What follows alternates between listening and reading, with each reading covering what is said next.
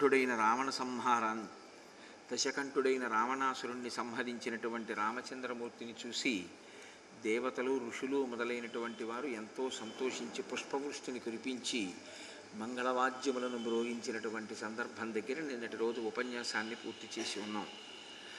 ఆ యుద్ధ భూమిలో పడిపోయి ఉన్నటువంటి రావణాసురుని యొక్క మృతదేహాన్ని చూసి తోడ పుట్టినవాడు కదా విభీషణుడు. బ్రతికున్నంతకాలం ఒకలా ఉంటుంది చనిపోయిన తరువాత ఒకలా ఉంటుంది. అది రామాయణం అందుకే చాలా యథార్థమైనటువంటి స్థితిని ఆవిష్కరిస్తుంది. సుగ్రీవుడు చూడండి వాలి బ్రతికున్నన్నాళ్ళు రాజ్యం కోసం వైరం భార్య కోసం వైరం. నిజంగా వాలి నిహతుడైపోయిన తర్వాత యుద్ధభూమిలో వెళ్ళి అయ్యో అన్నయ్య ఇలా పడిపోయావా? ఎటువంటి వాడివి? ఎంతమందిని ఓడించావు? ఎన్ని గౌరవాలు పొందావు? ఇలా పడిపోయావు ఎంత దారుణం అంటాడు. అన్నదమ్ములు బతికున్నప్పుడు కొట్టుకుని చచ్చిపోయిన తర్వాత ఏడవడం అంత దారుణమైన విషయం లోకంలో ఇంకోటి ఉండదు. అదే రాముడి దగ్గరికి వచ్చేటప్పటికీ దేశే దేశే కలత్రాన్ని దేశే దేశీ చ బాంధవాహ తంతు దేశం నపశ్యామి ఎత్ర భ్రాత సహోదర అంటాడు. ఆ జన్మకి తోడ పుట్టిన వాళ్ళన్న వాళ్ళు ఒక్కరే. ఇక ఆ జన్మలో మళ్ళీ తోడ పుట్టిన వాళ్ళు కొత్త వాళ్ళు రావడం అనేటటువంటిది జరగదు. కాబట్టి నేను సోదరుల పట్ల అటువంటి ప్రేమని కలిగి ఉంటాను అంటాడు. ధర్మం అర్థంచ కామంచ పృథివీంచాపి లక్ష్మణ ఇచ్ఛాపి భవతామర్థే ఏతత్ ప్రతిశృణోమితే అంటాడు అయోధ్యకాండల. నేను ధర్మము కానీ అర్థము కానీ కామము కానీ ఈ మూడిటిలో ఏది అనుభవించినా నా సోదరులతో కలిసి అనుభవించవలసిందే తప్ప నేను వేరుగా అనుభవించడానికి ఇష్టపడేవాణ్ణి కాను అంటాడు. అది రామలక్ష్మణ భరత శత్రుఘ్నుల మధ్యనున్నటువంటి ప్రేమ. అటువంటి ప్రేమకి నూచుకోనటువంటి అన్నదమ్ములు బతికున్నన్నాళ్ళు మాట్లాడుకోకుండా ఉండడం బతికున్నన్నాళ్ళు వైరంతో ఉండడం తీరా ఎవరో ముందు వెనకలు ఉంటాయి కదా. అన్నో తమ్ముడో ఎవరో ఒకళ్ళు ముందు వెళ్ళిపోవాలి. వెళ్ళిపోయిన తర్వాత అప్పుడు యుద్ధభూమిలోనో ఎక్కడో మరణించినటువంటి ప్రేతాన్ని చూసో అప్పుడు ఆ గత వైభవాన్ని స్మరించి ఏడవడం. ఏమిటి ప్రయోజనం? మనుష్య జన్మ అనేటటువంటిది బాగా బుద్ధిచేత వివేచన చేసి ఎటువంటి పథంలో ప్రయాణించాలో అటువంటి పథంలో ప్రయాణించడం కోసం వచ్చినటువంటి జన్మ.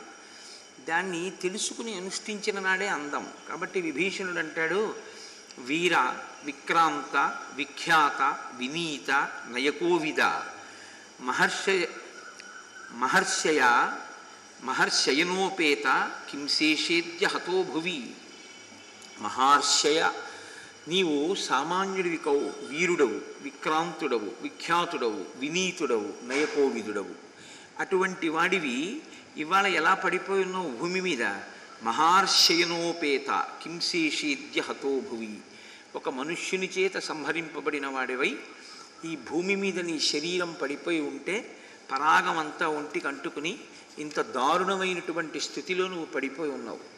తదిదం వీర సంప్రాప్తం మయా పూర్వం సమీరితం కామమోహపరీతస్య ఎత్తతేన రుచిరం వచ. నేను గతంలోనే నీకు రాబోయేటటువంటి ఆపద గురించి వివరించాను. అన్నయ్య నువ్వు కామమోహితుడవై ఉన్నావు. నేను చెప్పే మాటలు నీ చెవికి ఎక్కట్లేదు. వద్దన్నయ్య నా మాట విను. సీతమ్మ జోలికి వెళ్ళవద్దు అని చెప్పాను. కానీ నీ ప్రారంధమో నా ప్రారంధమో ఆ మాటలు నీ చెవికి ఎక్కలేదు. ఎక్కనటువంటి దాని పర్యవసానం ఏమి అంటే ఇదిగో ఇవాళ నువ్వు ఇలా యుద్ధభూమిలో పడిపోయి ఉన్నావు అని సహజంగా యుద్ధభూమిలో ఒక అన్నగారు మరణిస్తే తమ్ముడు ఆ సమయంలో ఎలా విలపిస్తూ ఉంటాడో అలాగే విభీషణుడు విలపించాడు. ఎందుకంటే సున్నిత హృదయుడు ధర్మాత్ముడు. రామచంద్రమూర్తి జోక్యం చేసుకుని మాట్లాడతారు. మీరు రాముడి యొక్క శీలాన్ని చూసినప్పుడు గమనించవలసిందిదే. రాముడు ఒక వ్యక్తి చనిపోయిన శత్రువు చనిపోయిన. తన తండ్రి చనిపోయిన వేరొకరు చనిపోయిన ఒక పక్షి చనిపోయిన తను పరిపాలించిన తనకి కష్టం వచ్చిన తనకి సుఖం వచ్చిన తను చాలా కాలం నుంచి కోరుకున్నది తనకి ప్రాప్తించిన తాను చాలా కాలం నుంచి కోరుకుని తనతో ఉన్నటువంటిది తనకి దూరమైన రాముడు మాత్రం ఎప్పుడు మాట్లాడినా ఒకటే మాట్లాడతాడు.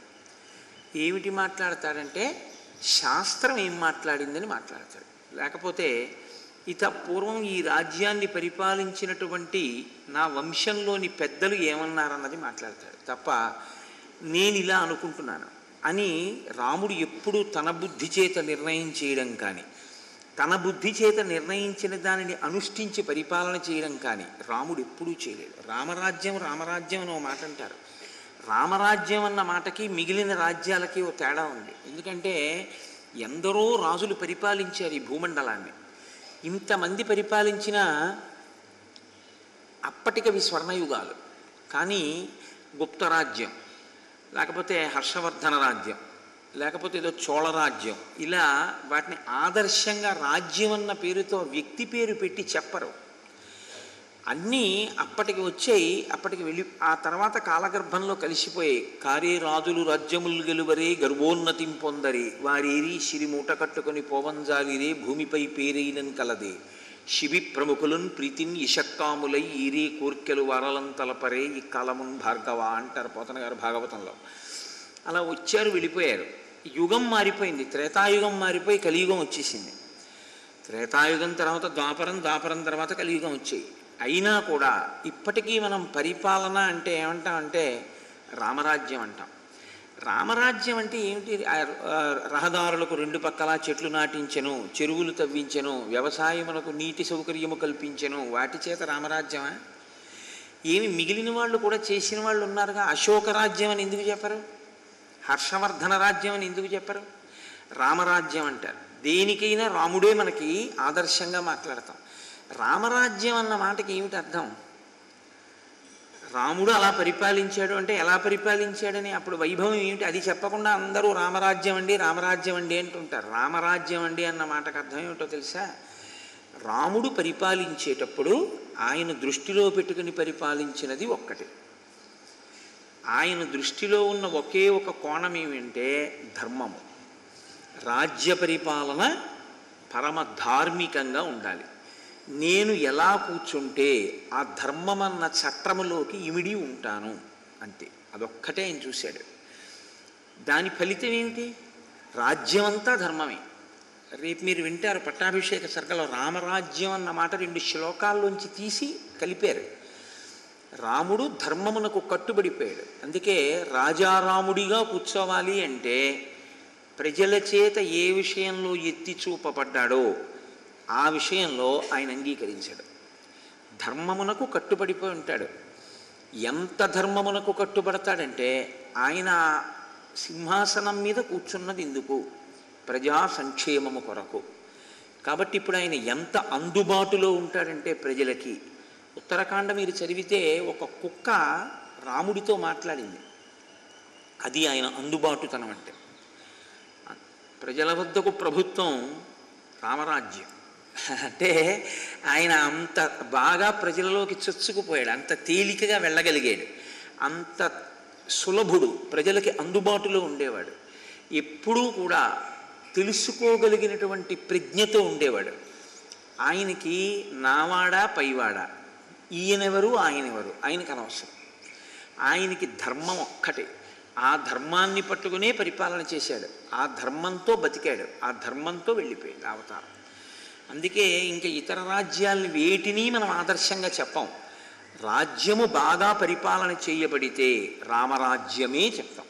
కారణం ఏమిటంటే అది ధర్మమునకు కట్టుబడినటువంటి పరిపాలన కనుక. కాబట్టి మీరు ఎప్పుడు రాముడు మాట్లాడినా దీన్ని విచారణ చేస్తుండాలి. రాముడు ఇప్పుడు రావణాసురుడు తన యొక్క ప్రగాఢ శత్రువు తన భార్యని అపహరించినవాడు.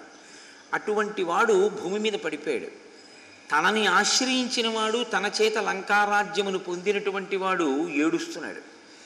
రాజకీయం అని మాట ఉంటుంది. ఆ రాజకీయం వేరు రాజనీతి వేరు. రాజనీతిజ్ఞులు ఉండేవారు ఒకప్పుడు.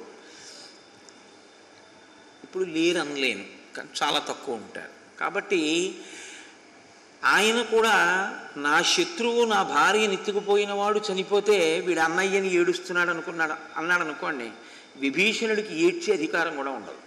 అప్పుడు పుష్పక విమానంలో తీసుకొచ్చి స్పృహ తప్పిపోయినటువంటి రాముణ్ణి చూపించి నీ భర్త మరణించాడు అని చెప్పి పుష్పకం దింపకుండా ఏడవడానికి కూడా అవకాశం ఇవ్వకుండా సీతమ్మని బాధపెట్టిన రావణాసురుడికి తన అన్నగారు మరణిస్తే ఏడిచే అవకాశం ఇవ్వనటువంటి రాముడికి ఏం తేడా ఉంటుంది నాకు చెప్పండి? రామ హృదయం అంటే ఏమిటో తెలుసా అండి?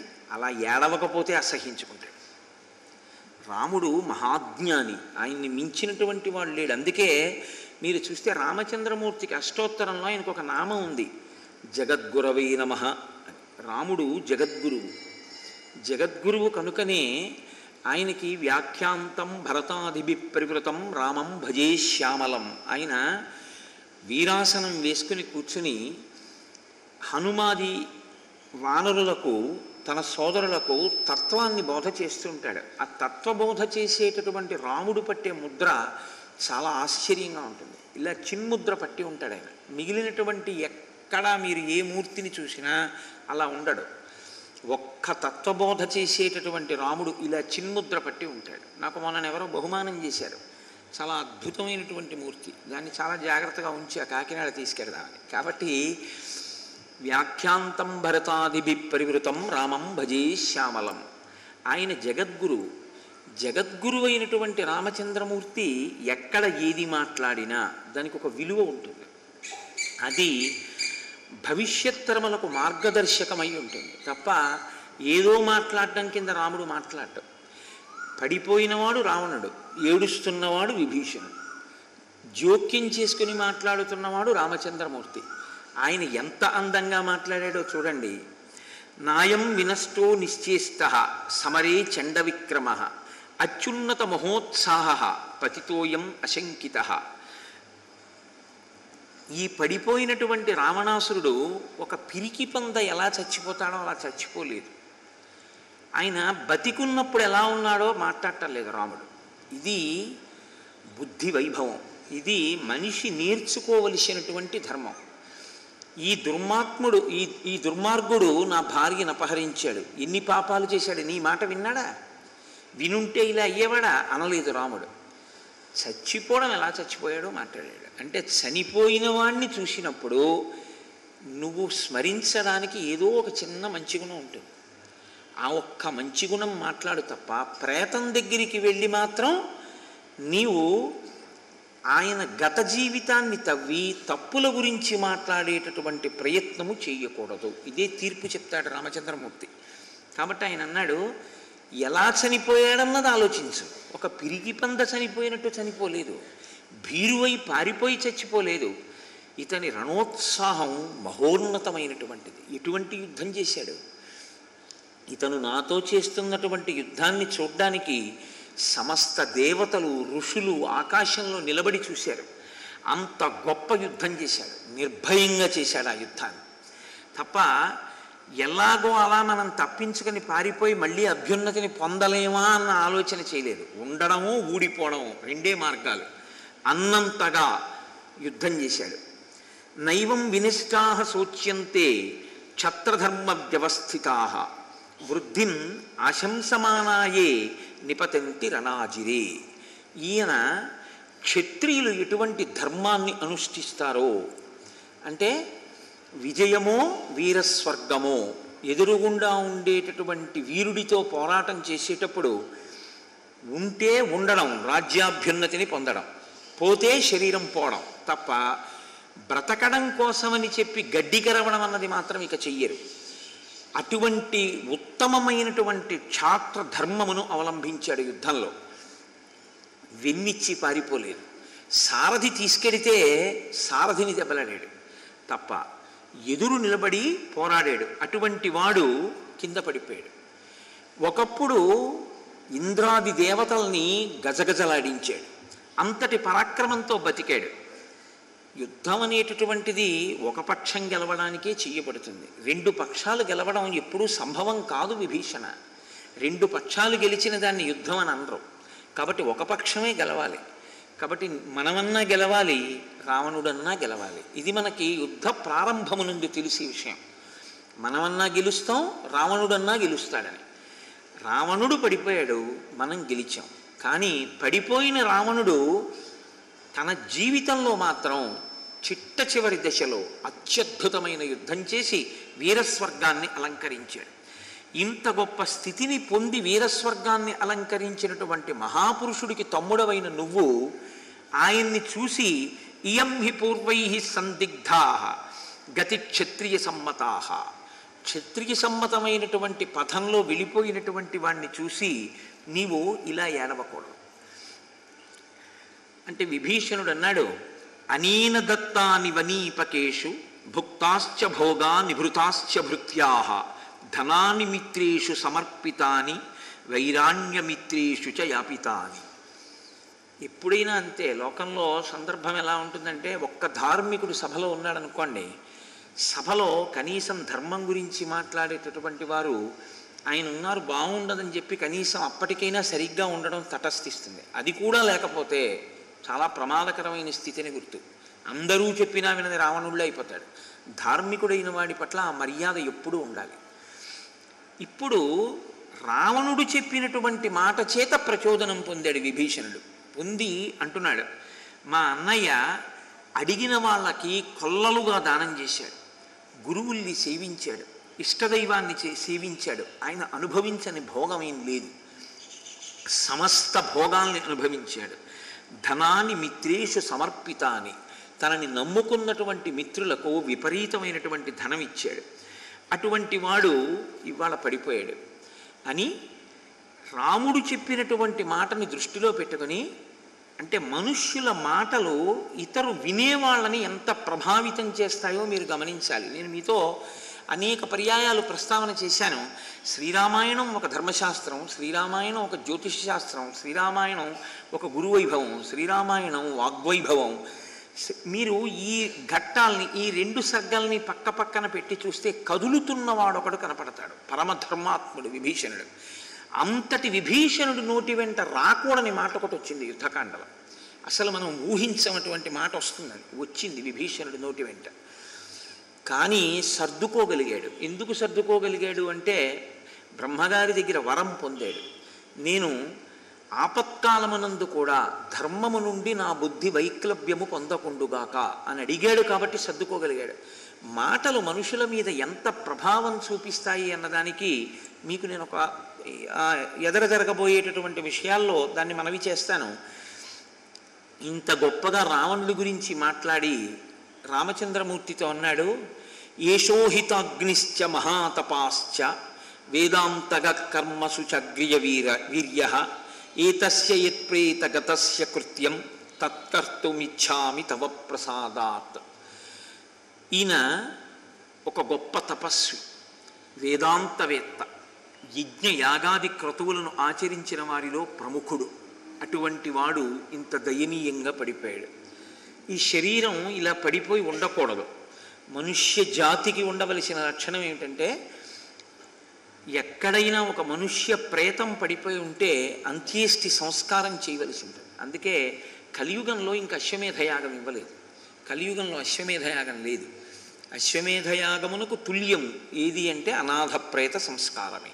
ఎక్కడైనా ఒక ప్రేతం ఉండిపోతే ఆ ప్రేతమునకు సంస్కారం చేయడమే అశ్వమేధంతో సమానమైనటువంటి స్థితిని పొందుతుంది. కాబట్టి మీరు అనుమతిస్తే నేను ఈ రావణాసురుని యొక్క భౌతిక కాయమునకు అంత్యేష్టి సంస్కారం చేస్తాను. అంటే పిండాండము బ్రహ్మాండములోకి కలుపుతారు. అదొక ప్రక్రియ. మంత్రములతో ఇందులో ఉన్నటువంటి పంచభూతాల్ని పైన ఉన్నటువంటి పంచభూతాలతో కలిపేస్తారు. అంటే సమన్వయం ఆగిపోతుంది. సమన్వయం ఆగిపోయింది అని గుర్తు. దానికి ఏం చేస్తారంటే మంత్రబద్ధంగా ఇందులో ఉండేటటువంటి వాయువులన్నింటినీ కూడా విడతీసేసి ఈ శరీరాన్ని ఆ బ్రహ్మాండంతో కలిపేసేసి విడిపోయినటువంటి జీవుడు పితృదేవతాస్థానాన్ని పొందుతాడు కాబట్టి ఆశీర్వచనాన్ని పుచ్చుకోండి అని చెప్పి జ్ఞాతులందరి యొక్క అభ్యున్నతి కొరకు ఒక హోమం చేస్తారు.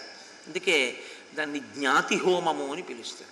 అందుకే పదకొండు రోజుల అశౌచం జ్ఞాతి తప్పకుండా వెళ్ళి తినడం ఆ రోజున అనేటటువంటిది ఒక సంప్రదాయంగా వస్తోంది. ఏది పెట్టినా సనాతన ధర్మంలో చాలా విశాలమైనటువంటి దృక్పథంతో పెడతారు. కాబట్టి నేను అంత్యేష్టి సంస్కారం చేస్తాను అని అడిగాడు. అడిగితే రాముడు అన్నాడు మరణాంతాని వైరాణి నిర్వృత్తం న ప్రయోజనం. క్రియతాం అస్య సంస్కారో మామాశ్వేష యథా తవా. ఇది చాలా చాలా చాలా పెద్ద మాట. రాముడు తప్ప అన్యులు అనలేని మాట. ఎంత గొప్ప మాట అన్నాడంటే మరణాంతాని వైరాణి. మరణముతోనే వైరం పోయింది. రావణుడు కదిలినప్పుడు వైరం నాకు రావణుడికి. రావణుడు వెళ్ళిపోయాడు ఇప్పుడు రావణు రావణుని యొక్క శరీరం మాత్రమే ఉంది. కాబట్టి ఇప్పుడు వైరం అన్న సమస్య ఏం లేదు. నువ్వు ఏ అంత్యేష్టి సంస్కారం తప్పకుండా చెయ్యాలో ఆ సంస్కారమును నువ్వు చేసి తీరాలి విభీషణ. ఎందుకని? ఆయన చేత్తో ఆయనే ఒక పెద్ద పొరపాటు చేసుకున్నాడు. తన తలవకు తలకొరివి పెట్టవలసినటువంటి కొడుకులందరినీ తనకన్నా ముందు చంపుకున్నాడు. కాబట్టి ఇప్పుడు తమ్ముడు సంస్కారం చేయాల్సి వచ్చింది. కాబట్టి నువ్వు చెయ్యి అంటూ మామాప్యేష యథాతవా. నీకు రావణుడు ఎలాగో నాకు రావణుడు అంతే. అంటే ఇప్పుడు రావణుడు రాముడికి ఏమవుతాడు? అన్నగారు అవుతాడు ఏ ధర్మం చేత అవుతాడు? ఏదో ఒక ప్రాతిపదిక ఉండాలిగా? నీవు నాకు మిత్రుడివి. మిత్రుడి అన్నగారు నాకు కూడా అన్నగారు. కాబట్టి అందులో హెచ్చరిక ఏమిటంటే నీవు ఏ కారణం చేతనైనా మానితే నీ చేస్తాను సంస్కారం. నీవు ఎలా తమ్ముడవో నేను కూడా అలాగే తమ్ముడిని తమ్ముడైతే మరి అన్నయ్య నీకంత ద్రోహం చేశాడే? అంటావేమో మరణాంతాని వైరాణి. ఆ మాట అసలు ప్రస్తావన చెయ్యొద్దు. ఇప్పుడు చెయ్యవలసింది నా ధర్మం నేను చెయ్యాలంతే. నీ ధర్మం నువ్వు చేయాలి నీ ధర్మం నువ్వు చేయడానికి నా ధర్మం నేను చేయడానికి గతాన్ని తవ్వుకోవడం అనవసరం. నీది నువ్వు చెయ్యాలి. ఇది పట్టుకోగలిగినటువంటి హృదయం ఉన్నటువంటి పెద్దల మాటలు రామాయణంలోంచే వస్తాయి. అందుకే ఒకప్పుడు శృంగేరి పీఠానికి ఆధిపత్యం వహించినటువంటి మహాపురుషుడు చంద్రశేఖర భారతి అబ్బో ఏమి మాటలో? పరమాచార్య స్వామి వారి మాటలు ఎలా ఉంటాయో? చంద్రశేఖర భారతీ స్వామి వారి మాటలు అలా ఉంటాయి. ఆయన దగ్గరికి వెళ్ళి మా నాన్నగారిని బాగా చూస్తున్నాను మా అమ్మగారిని బాగా చూస్తున్నానని చెప్తే చాలా సంతోషం చాలా సంతోషం. కానీ మా నాన్నగారే నన్ను సరిగ్గా చూడరండి అన్నారు ఆ మాట నాకు నీ తండ్రిని నువ్వు చూడడం నీ ధర్మం.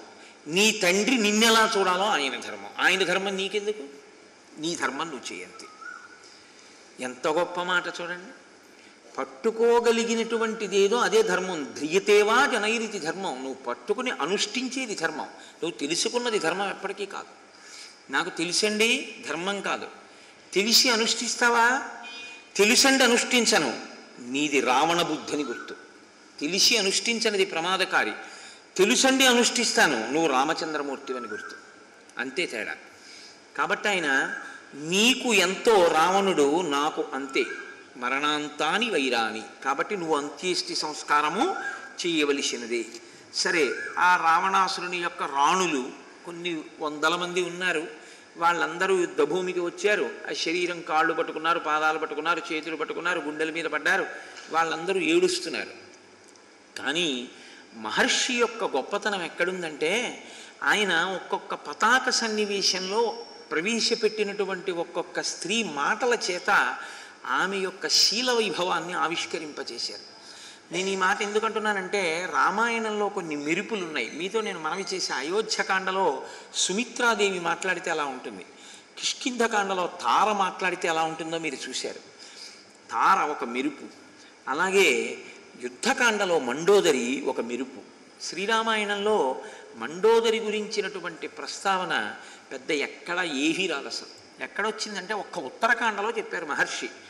రావణాసురుడికి మండోదరికి వివాహం ఎలా అయిందో చెప్పారు. ముగ్గురు అన్నదమ్ములకి శూర్పణకకి వివాహాలు జరిగినటువంటి ఘట్టాలు చెప్తూ అందులో రావణాసురుడు మయుణ్ణి కలుసుకోవడం మయుడు తన కూతురుతో తిరుగుతున్నప్పుడు ఈమె నా కూతురు మండోదరి అంటే ఆమెను ఈయన స్వీకరించడం. అప్పటి నుంచి ఆవిడ మహాపతివ్రతగా ఉంది అంతే. కానీ ఆమె పాతివ్రత్యమేమి? మీరు చూడడానికి రామాయణంలో ఎక్కడ ఏం కనపడదు. ఒక్క చోట మాత్రం ఆవిడ తళుక్కని మెరుస్తుంది. ఎక్కడ మెరుస్తుంది అంటే సుందరకాండలో తాసామేకాంత విన్యస్తే శయనాం శయనీ శుభే దదర్శ రూపసంపన్నాం అపరాసకపై ప్రియం అంటారు మహర్షి. అందరూ క్రీడించి క్రీడించి ఆయన ప్రియురాళ్ళు ఆయన చుట్టూ మదించినటువంటి ఎద్దు చేత క్రీ భోగింపబడినటువంటి ఆవుల మందలో ఆబోతు పడుకున్నట్టు రావణుడు పడుకున్నా. ఆమె మాత్రం దాన్ని కూడా సహించి భర్తయందు అపారమైన ప్రేమ కలిగినదై మహాపతివ్రత అయి పక్కన ఉన్న హంసతూలికా తల్పం మీద పడుకుంటే ఆ తల్లిని చూసే సీతమ్మ అని హనుమంతటి వారు భ్రమపడ్డారు కూడా. అదొక్కటి తప్ప ఇంకొకటి కనపడదు. కానీ రావణ సంహారం అయిన తర్వాత మండోదరి యుద్ధభూమిలో ప్రవేశించింది. ప్రవేశించినటువంటి మండోదరి మాట్లాడుతోంది రావణాసురుడి యొక్క శరీరాన్ని పట్టుకొని.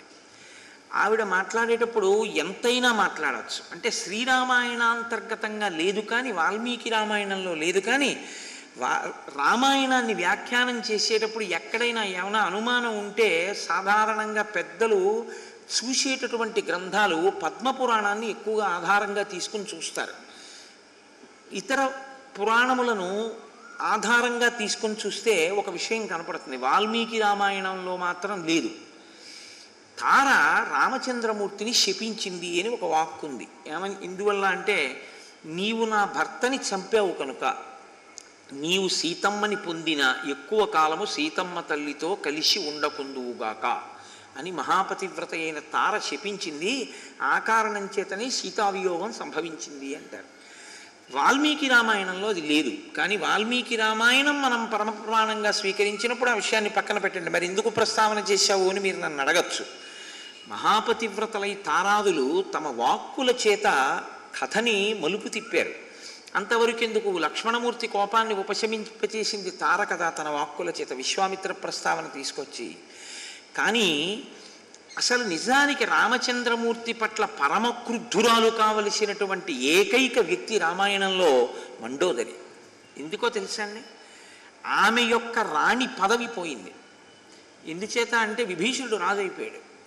తన భర్త ఇంత కీర్తివంతుడు పోయాడు. అన్నిటినీ మించి ఇంద్రుణ్ణి గెలిచినటువంటి తన కొడుకు ఇంద్రజిత్ లక్ష్మణుడి చేతిలో పోయాడు. ఒకే స్త్రీకి భర్త రాచరికము వైభవము కొడుకు. ముగ్గురు ఒకరి వల్లే నశించారు.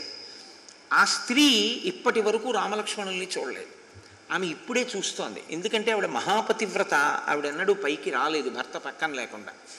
ఆవిడ ఇప్పుడు బయటికి వచ్చింది బయటికి వస్తున్నప్పుడు రాముడు అక్కడే నిలబడి ఉన్నాడు రాముడి పక్కన లక్ష్మణుడు నిలబడి ఉన్నాడు సహజంగా ఆ స్థితిలో యుక్తాయుక్త విచక్షణ అన్నది ఉండడం చాలా కష్టం. ఉండకుండా కోపం ఇటువైపు కడుతుందంటే నా భర్త మరణమునకు కారణమైన వాడు అని రాముడి వైపుకి వెళ్ళాలి. వెళ్ళి మండోదరి శాపవాక్కు విడిచిపెట్టగలదు. మీరు అది గుర్తుపెట్టుకోవాలి. ఆవిడ మహాపతివ్రత. ఆవిడ ఒక స్థితిలో చెప్పింది సీతమ్మ నా ముందు ఏ పాటి? అని అడిగింది ఆవిడ. ఆవిడ అంతటి పతివ్రత కూడా. అటువంటి మండోదరి శపించలేదు రాముణ్ణి. ఇది ఆవిడ యొక్క వైభవాన్ని ద్విగుణీకృతం చేసింది రామాయణంలో. మండోదరి యొక్క శీలాన్ని ఎక్కడికి తీసుకొచ్చి ఉద్దీపింపజేశారంటే మహర్షి రావణ వధ అయిన తరువాత ఆవిడ యుద్ధభూమిలో మాట్లాడిన మాటలు ఏ ఉన్నాయో ఆ మాటలు మండోదరి యొక్క బుద్ధి వైశిష్ట్యానికి ఆవిడ ఎంత ఎత్తు ఎదిగిపోయింది అన్నదానికి ఉదాహరణలు. ఈ ఘట్టం చదివిన వాళ్ళు మండోదరికి నమస్కరించకుండా ఉండలేరు. అంత గొప్పగా మాట్లాడింది ఆవిడ. ఆవిడంది నను నామ మహాభాగ తవ వైశ్రవణానుజ క్రుద్ధస్య ప్రముఖే స్థాతుం త్రస్యత్యపి పురందర. నీవు సాక్షాత్తుగా కుబేరుడి యొక్క సోదరుడివి. విశ్రవసో బ్రహ్మ యొక్క కుమారుడివి. నీవే ఆగ్రహిస్తే ఇంద్రుడంతటి వాడు గజగజా ఉనికిపోతాడు ఋషయశ్చ మహీదేవ గంధర్వాశ్చ యశస్విన నను నామ తవోద్వేగాత్ చారణాశ్చ దిశోగతా. నీకే కానీ ఆగ్రహం వచ్చి నువ్వు ధనస్సు పట్టుకున్నావా? ఋషులు దేవతలు ఇతరమైనటువంటి గంధర్వులు కీర్తి వహించినటువంటి వాళ్ళందరూ కూడా దిక్కులు పట్టి పారిపోతారు. అంతటి పరాక్రమము కలిగిన వాడివి. అటువంటి వాడివి సత్వం మానుషమాత్రేణ రామేణ యుధి నిర్జిత. నవ నౌ యపత్రపసే రాజన్ కిమిదం రాక్షసర్షభ అటువంటి వాడివి అంత గొప్పవాడివి చిట్ట చివరికి ఒక మనుష్యుడి చేతిలో చచ్చిపోయావు. నీకు ఇది సిగ్గుగా లేదా? అని అడిగింది ఇక్కడ దాకా వచ్చాక మనం ఏం ఊహిస్తామంటే సాధారణంగా మీరు ఈ శ్లోకం యొక్క రెండో పాదాన్ని మూసి తర్వాత ఏమంటుంది అన్నారు అనుకోండి ఇంతటి వాడివి ఒక మనుష్యుడి చేతిలో పడిపోయావు అన్న తర్వాత ఏమంటుంది? అంటే ఈ దుర్మార్గుడి నిన్ను చంపేశాడు అంటుంది అనుకుంటాం. కానీ ఆవిడేమందో తెలుసా అండి? నవ్వు వ్యప్ వ్యపత్రపసే రాజన్ నీకు సిగ్గుగా లేదా అని అడిగింది ఆవిడ. సిగ్గుగా లేదా అని ఎందుకు అడగాలి? అంతటి వాళ్ళని గెలిచిన వాడివి ఒక మనుష్యుడి చేతిలో ఎందుకు చావాల్సి వచ్చింది నువ్వు అని అడిగింది ఆవిడ ఆవిడ ప్రశ్నని మీరు తిప్పి చదవాలి. అంత గొప్పవాడివిగా ఇంద్రుడు పారిపోతాడుగా గంధర్వులు పారిపోతారుగా ఋషులు పారిపోతారుగా మరి ఒక మనిషి చేతిలో చచ్చిపోయే స్థితి నీకు ఎందుకు వచ్చింది అటువంటి స్థితి ఎందుకు తెచ్చుకున్నావు? అలా తెచ్చుకున్నందుకు సిగ్గుపడద్దు నువ్వు అని అడిగింది. అంటే ఇప్పుడు ఆవిడ రాముణ్ణి ఏ నిందా చేయలేదు. ఆవిడ రావణుణ్ణే నింద చేసింది. నింద చేసింది అంటే ఆయన శీలాన్ని ప్రశ్నించింది ఇప్పుడు. ఎందుకు ప్రశ్నించిందో కూడా చెప్తుంది ఒక చోట. అన్యాపదేశంగా చెప్తుంది ఆ మాట. ఎంత అందమైన మాట చెప్పిందంటే ఒకానొకప్పుడు జనస్థానంలో ఈరాముడి చేతిలోనే పద్నాలుగు వేల మంది రాక్షసులు ఖరదూషణాదులు నిహతులైపోయారు. నీకు తెలియదా నీకు తెలుసు ఆయన పరాక్రమవంతుడని. ఇతని సేవకుడు ఒక్క వానరుడు. హనుమ లంకాపట్టణంలో ప్రవేశించి లంకనంతటిని కాల్చి నీ యొక్క సైన్యంలో కొంత భాగాన్ని నశింపచేసి కుమారుడైన అక్షకుమారుణ్ణి కూడా సంహరించి వెళ్ళిపోయాడు తెలియదానికి ఇప్పుడు అప్పుడు ఆయన పరాక్రమం? నూరు యోజనముల సముద్రము మీద సేతువుని నిర్మించి ఆయన నీ మీద దాడి చెయ్యడం కోసమని దాటి వచ్చాడు. అప్పుడైనా నీకు గమ తెలియలేదా ఆయన పరాక్రమం? వ్యక్తం చేష మహాయోగి పరమాత్మా సనాతన. అనాది మధ్య నిధలో మహత పరమో మహాన్ తమస పరమో ధాత శంఖచక్ర గదాధర శ్రీవత్సవక్షా నిత్యశ్రీ అజయ్య శాశ్వతో ధ్రువ మానుషం వపురాస్తాయ విష్ణు సత్యపరాక్రమ సర్వై పరివృతో దేవై వానరత్వముపాగతై సర్వలోకేశ్వర సాక్షాత్ లోకానాం హితకామ్యయ సరాక్షత పరీవారం హంత హతవాస్ హతవాంస్త్యాం మహాద్యుతి నీకు అర్థం కాలేదేమో? నాకు అర్థం అవుతోంది. వచ్చినటువంటి వాడు మనుష్యుడు కాడు. నువ్వు వరం అడగలేదు కాబట్టి మనుష్యుని యొక్క శరీరమును పొందాడు ఒక ఆయన. ఎవరు పొందాలి? నీవు ధర్మమునకు వ్యతిరేకంగా ప్రవర్తిస్తున్నావు కాబట్టి ధర్మమునకు హాని కలిగితే ఎవడు సహించడో వాడే స్థితికారుడు ఈ రూపంలో వచ్చాడు. విష్ణువు వచ్చాడు ఈ రూపంలో. మనుష్య రూపంలో వచ్చి నిలబడ్డాడు. నీకు కేవల మనుష్యుడిగా కనపడ్డాడు. కానీ కేవల మనుష్యుడు కాడు. కేవల మనుష్యుడిగా కనపడుతున్న ఈ రాముడెవరో నాకు అర్థమైంది. వ్యక్తం దేశ మహాయోగి పరమాత్మ సనాతన. ఈయన మహాయోగి పరమాత్మ సనాతనుడు ఆదిమధ్యాంతరహితుడు మహత్తులకు మించిన మహత్తైన వాడు. అజ్ఞానమనేటటువంటి చీకటిని పోగొట్టగలిగినటువంటి వాడు. శంఖచక్ర గదా పద్మములను పీతాంబరమును ధరించేటటువంటి వాడు. మానుషంబపురాస్తాయ మనుష్యుని యొక్క దేహమును పొందాడు. అంటే వేదవాక్కుని చెప్తోంది. అజాయమానో బహుధా విజాయితే. పుట్టవలసిన అవసరం లేనివాడు పుడుతూ ఉంటాడు ఈశ్వరుడు. దేనికి పుడుతూ ఉంటాడు అంటే ధర్మమును రక్షించడానికి పుడుతుంటాడు.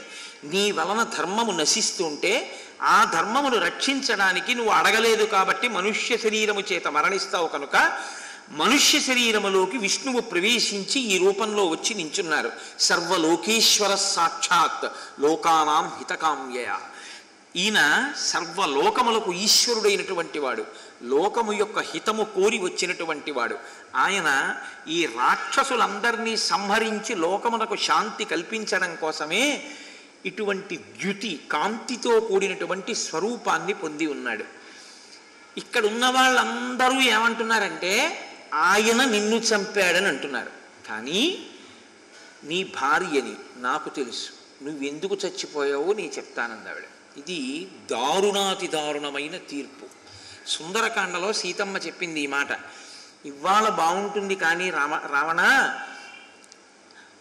చపలం చలితేంద్రియం. నీ శరీరము పడిపోయిన రోజున కానీ నీ శరీరము కదలలేని స్థితికి వచ్చిన రోజున కానీ నీ భార్య నీ పక్కన నిలబడి వీడు చపలుడు చెలించిన ఇంద్రియములున్నవాడు. వీడు ఇంద్రియములను అదుపు చేసుకోలేక భార్యని అతిక్రమించినవాడు అని నీ భార్యలు అన్ననాడు. నువ్వు చచ్చి వెయ్యి మాటలు చచ్చినట్టు బతికుంటే నూరు మాటలు చచ్చినట్టు.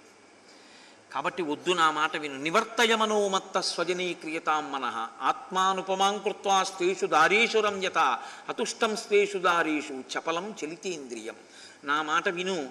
నీ ఇంద్రియములను మనసును తిప్పి నీ వారి ఎందుంచుకో. నీవు శాశ్వతమైన కీర్తి గణిస్తావని చెప్పింది ఆ తల్లి. అది ఇప్పుడు యథార్థం అవుతాను. ఎందుకో తెలుసా అండి? నేను ఒక మాట చెప్తాను మీరు సహృదయంతో మాత్రమే దాన్ని పుచ్చుకోవలసి ఉంటుంది. కన్న తల్లికి కూడా కొడుకు గురించి కొంతే తెలుస్తుంది. భార్యకి మాత్రం పరిపూర్ణంగా తెలుస్తుంది. ఒక వయసు వచ్చేసిన తరువాత కొడుకు యొక్క బలం బలహీనతలు ఏవి అన్నవి చెప్పగలిగినటువంటిది మనసులో తెలుసుకోగలిగినది భార్య ఒక్కతే ఆమెకి తెలుస్తుంది.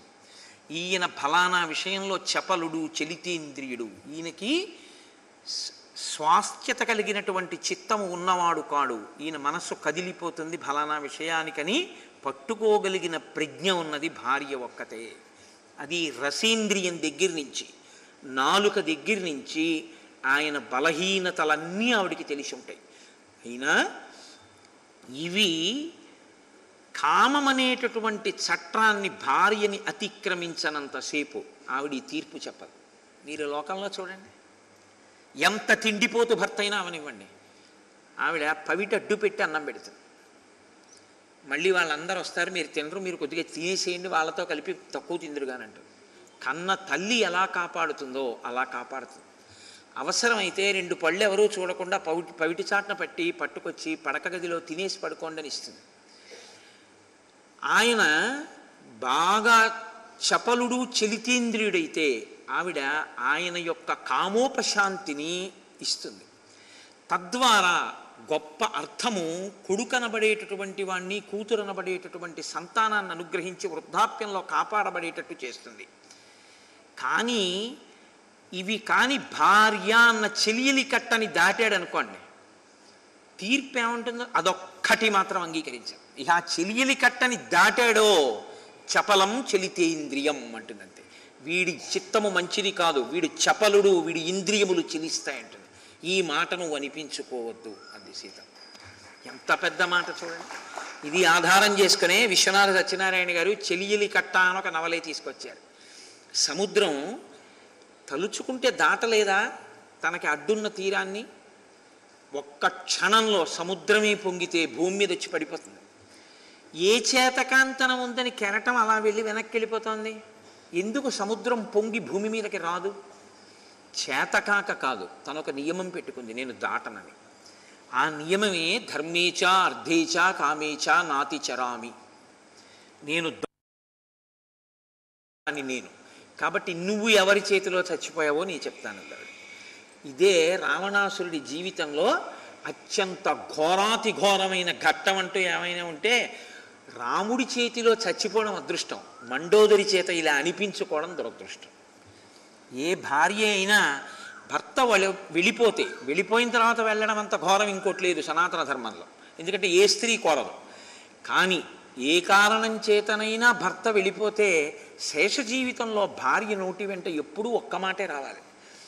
మళ్ళీ నేనంటూ పుడితే ఆయనకే ఇల్లాలని అవ్వాలని కోరుకోవాలి. అలా కోరుకోగలిగితే నీకు ఇంకెవరూ సర్టిఫికెట్ ఇవ్వక్కర్లా. నీ జన్మధన్యం.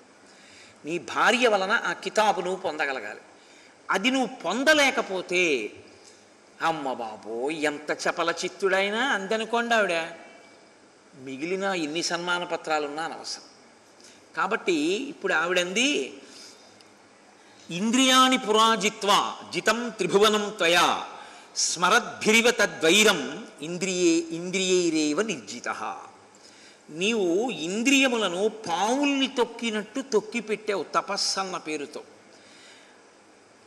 చాలా కష్టపడి అది నువ్వు జ్ఞానము చేత గెలిచిన వాడివి కావు. చిలించిపోయే ఇంద్రియాల్ని స్వార్థ ప్రయోజనం కోసం బ్రహ్మగారి అనుగ్రహం కోసం కొంతకాలం భోగాన్ని వాయిదా వేశావంతే. మార్పు రాలేదు నీలో. ఇంద్రియములను పావుల్ని కాళ్ళ కింద పెట్టుకున్నట్టు పెట్టి తొక్కి పెట్టావు. కాలు కింద బతికున్న పాము పగ పెంచుకొని కాలెత్తితే కాటు వేసినట్టు. కొంతకాలం మమ్మల్ని తొక్కి పెట్టాడు కాబట్టి ఎప్పుడు కాలు తీస్తాడు కరుద్దామని నీ ఇంద్రియాలు చూసాయి నీ తపస్సు అయిపోయింది నీ ఇంద్రియాలు కరవడం మొదలుపెట్టాయి.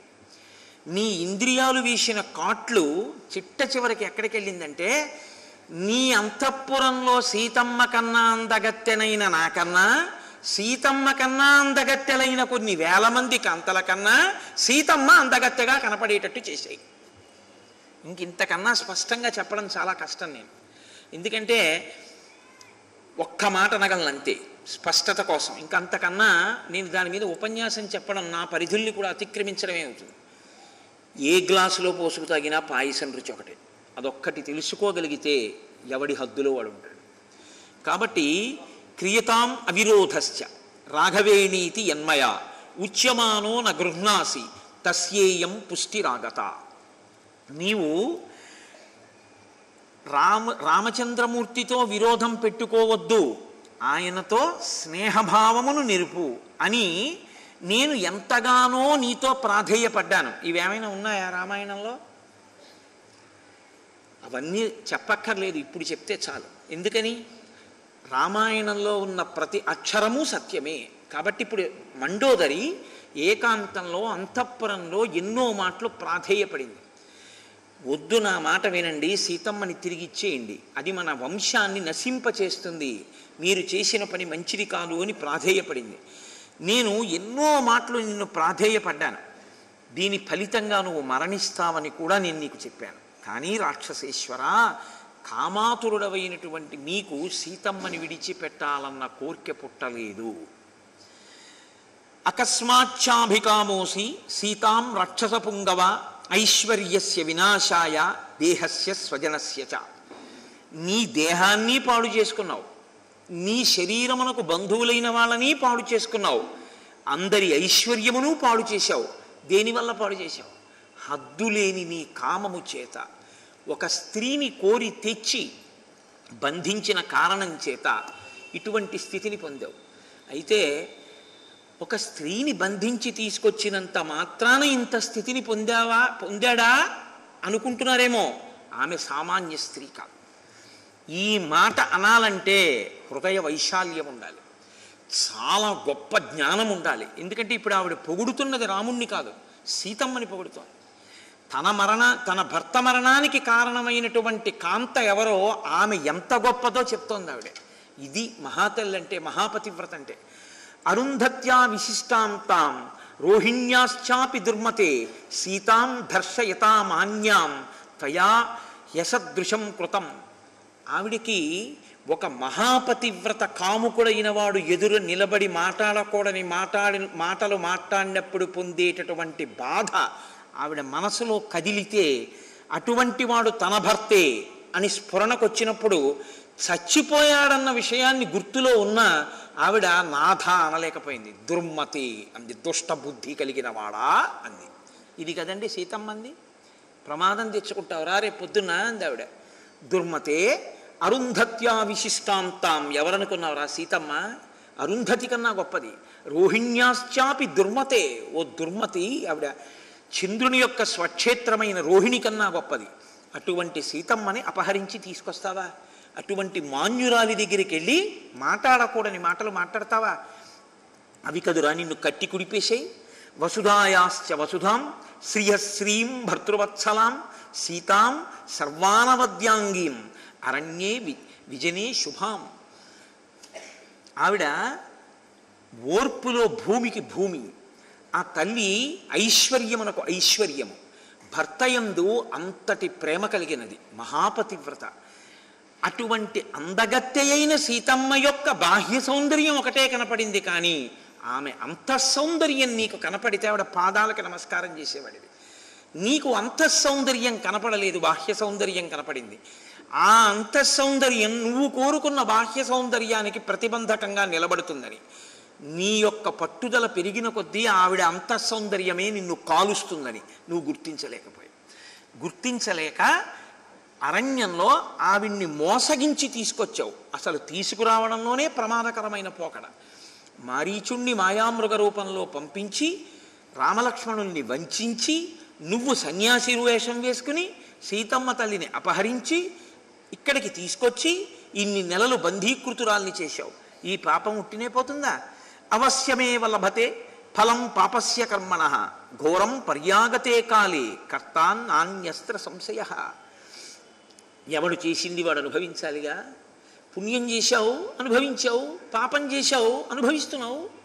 కాబట్టి ఇప్పుడు పరాగములో పడిపోయావు ఒకనాడు పెద్ద పెద్ద ఆభరణములు పెట్టుకున్నావు గొప్ప వైభవాన్ని అనుభవించావు చేసిన పాపం ఎక్కడికి పోతుంది? ఎదురుగుండా రాముడు కనపడితే కాళ్ళ మీద పడలేదుగా? ఇంటికి పో అన్నాడు. ఆ రోజున రాముడి కాళ్ళ మీద పడిపోయి ఉంటే నీ పాపం పోయి ఉండేది. నువ్వు పడలేదుగా? కాబట్టి ఏమైంది? అనుభవించవలసి వచ్చింది. నువ్వు చేసింది నువ్వు అనుభవిస్తున్నావు. ఎవడు చేసింది వాడే అనుభవించాలనడానికి తార్కాణం నీ తమ్ముడు చేసింది నీ తమ్ముడు అనుభవిస్తున్నాడు చూడు. విభీషణుడు ఎక్కడున్నాడు? రాముడి పక్కన నించున్నాడు. ఎటువంటి తమ్ముడిగా? లంకారాజ్యానికి రాజయ్యి ఉన్నాడు. నువ్వు మరణించి ఉన్నావు. ఏమి నీ ప్రారంధం నీ తర్వాత నీ కొడుకులు అవ్వాలి. నీ కొడుకులు కూడా లేకుండా నీ వంశాన్ని నువ్వే నిర్మూలించుకుని నీ కుటుంబాన్ని నీ తమ్ముడికి రాజ్యం వచ్చేట్టు చేసుకున్నావు. కారణం? ఆయన నిన్ను వదిలేడు రాముడిని పట్టుకున్నాడు. నువ్వు ఇవన్నీ వదిలేశావు సీతమ్మని పట్టుకున్నావు. పట్టుకోవడంలో కామంతో పట్టుకున్నావు కాల్చేసి చూసావా కాబట్టి శుభకృత్యు భమ భమాప్నోతి పాపకృత్ పాపమశ్నుతే విభీషణ సుఖం ప్రాప్త తం ప్రాప్త పాపమీదృశం. విభీషణుడు ఏది పొందాలో దాన్ని విభీషణుడు పొందాడు. నువ్వు ఏది పొందాలో అది నువ్వు పొందావు. ఎవడు చేసింది వాడు అనుభవించాలిగా రావణ? సంత్యన్యాహ ప్రమదాస్తుభ్యం రూపేణాభ్యధికాస్తత అనంగవశమాపన్న త్వంతు మోహాన్న బుద్ధ్యసే ఎంత గొప్ప తీర్పండి నిజంగా. యథార్థంగా నిష్పక్షపాతంగా ఆలోచన చేస్తే రావణ నువ్వు కోరుకున్న సీతమ్మ కన్నా అందగత్తెలు కొన్ని వేల మంది మన అంతఃపురంలోనే ఉన్నారు. నీ ఎందు ప్రేమ ఉన్నవారు. అంతకన్నా గొప్పదాన్ని నేనున్నాను. నీ ఎందు అనురాగం ఉన్నదాన్ని. కానీ మన్మథ బాణాలు నీ మీద అలా పడ్డాయి. ఇందులో కనపడని అందలం ఆవిళ్ళలో నీకు కనపడింది. అదే నీ కొంప ముంచింది. ఆ దృష్టికోణం మార్చుకోలేకపోయావు. ఇంతమందిని ఎంత ఎందు అనురక్తలు ఉన్నారు నిజంగా బయట వాళ్ళు ఎవరైనా చూస్తే సీతమ్మ కన్నా వీళ్ళు అందగత్తెలు అంటారు. కానీ నీకు అలా అనిపించలేదు. నీ ప్రారంధం అంతే. న కులేన న రూపేణ న దాక్షిణ్యేన మైథిలి మయాధికా వా త్వం. మోహాన్న బుద్ధ్యసే న కులేన ఆమె సీతమ్మ తల్లి వంశాన్ని బట్టి చూస్తే నాకన్నా గొప్పది కాదు. అంటే అలా అనొచ్చా అండి? మండోదరి అంటే ఆవిడ అయోనిజ మండోదరి మయుని యొక్క కుమార్తె. ఈవిడ వంశం చెప్పడం కుదురుతుంది. తల్లి పరాశక్తిగా నిలబడింది అంతే ఆవిడ అలా చెప్పుకుంది అంటే అందులో మీరు బొత్తిగా ఇన్ బిట్వీన్ ది లెటర్స్ అంటారే అలా చూసి దానిలో ఉన్న యోగ్యతాయోగ్యతలని నిర్ణయించకూడదు. ఆవిడ చెప్తున్నది మాత్రం యథార్థం. నా రూపేణ. రూపంలో కూడా నేను సీతమ్మ కన్నా అంతగత్తెని. నా నా దాక్షిణ్యేన మైథిలి. అలాగే నేను నీ మీద ఉండేటటువంటి ప్రేమ చేత కానీ అందంలో కానీ చదువులో కానీ సంస్కారంలో కానీ నేను సీతమ్మ తల్లి కన్నా తక్కువ దాన్ని కాను. మయాధికా మ- తుల్యావా తంతు త్వంతు మోహాన్న బుద్ధ్యసే నాతో సమానురాలు కాదు నాకన్నా అధికురాలు కాదు సీతమ్మ. కానీ నీ ప్రారంధం ఏమిటంటే ఇది నీకు కనపడలేదు. నా ప్రారంధం ఏంటంటే నీకు నేనలా కనపడలేదు. ఎంత పెద్ద మాట అండి ఆయన ప్రారంధం ఏంటంటే అలా మండోదర ఆయనకి కనపడకపోవడం. ఈవిడ ప్రారంధం ఏంటంటే ఈవిడ ఆయనకి అలా కనపడలేకపోవడం. నేను నీకు అలా కనపడుంటే ఉంటే నీతో కలిసి నేను హాయిగా విహరిస్తుండేదాన్ని. లేక నీకు నేను అలా కనపడి ఉంటే నువ్వు సీతమ్మని తెచ్చేదానివి కోవు కాబట్టి నీ ప్రారంధం అలా ఏడిచింది నా ప్రారంధం ఇలా ఏడిచింది. కారణం మన్మథ బాణములు నీ మీద పడినప్పుడు అవి ఎంత విశృంఖలత్వాన్ని పొందాయంటే నీకు ఆమె అందగత్తగా కనపడమే సృష్టిలో ఆశ్చర్యం. నేను నిన్న మీతో మనవి చేశానుగా మనస్సుని ధార్మికమైన తృప్తి వైపుకి తిప్పలేకపోతే ఇలాంటి అల్లర్లే బయలుదేరుతాయి.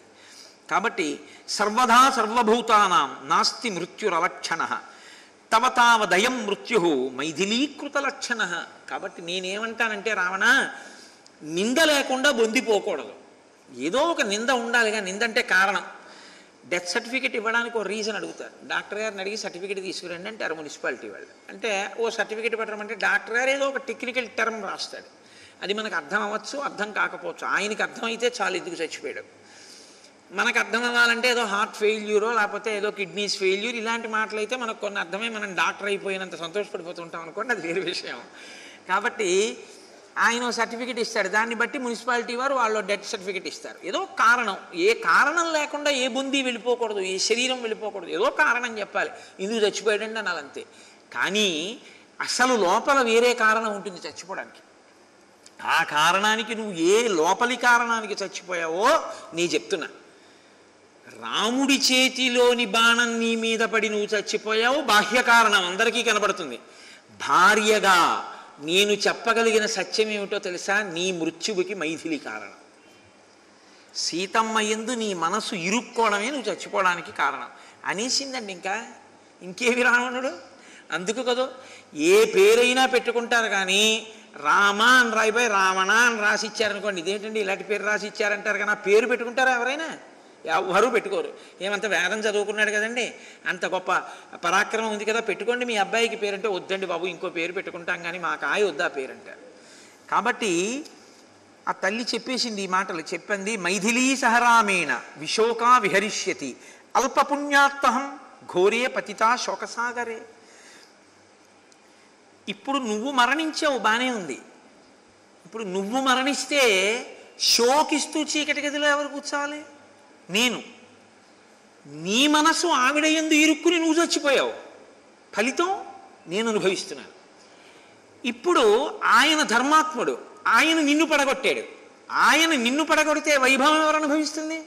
సీతమ్మ రాముడి పక్కన చేరి అన్ని విహారాలు చేస్తుంది ఇప్పుడు.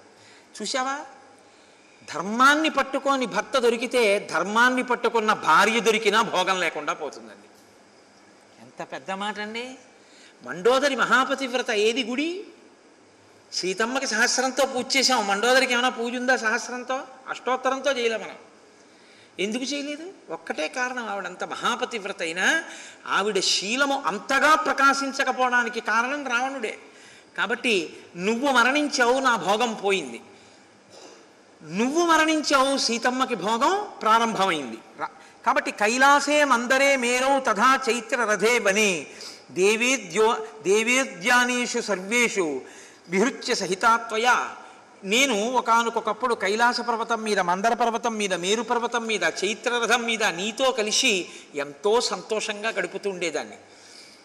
సామాన్యంగా పెద్ద పెద్ద భోగాలు అనుభవించకుండా ఉన్నంతలో భోగాలు అనుభవించేవి కొన్ని ఉంటాయి ఏదో ఉన్న ఇత్తడి చెంబును చూసి సంతోషపడిపోతుంటారు. ఒక్క వెండి చెంబుకి. వేయి పడగల్లో విశ్వనాథ సత్యనారాయణ గారి నవల్లో ఆ చెంబు కోసం దెబ్బలాడుకోబడుకున్న దంపతుల గురించి వింటే చాలా ఆశ్చర్యంగా ఉంటుంది. ఒక్కొక్క దంపతుల యొక్క జీవితం అంతా దేని చుట్టూ తిరుగుతుందంటే వాళ్ళ దాంపత్యంలో గొప్పగా చెప్పుకోవడానికి ఏముంటాయో తెలుసా అండి?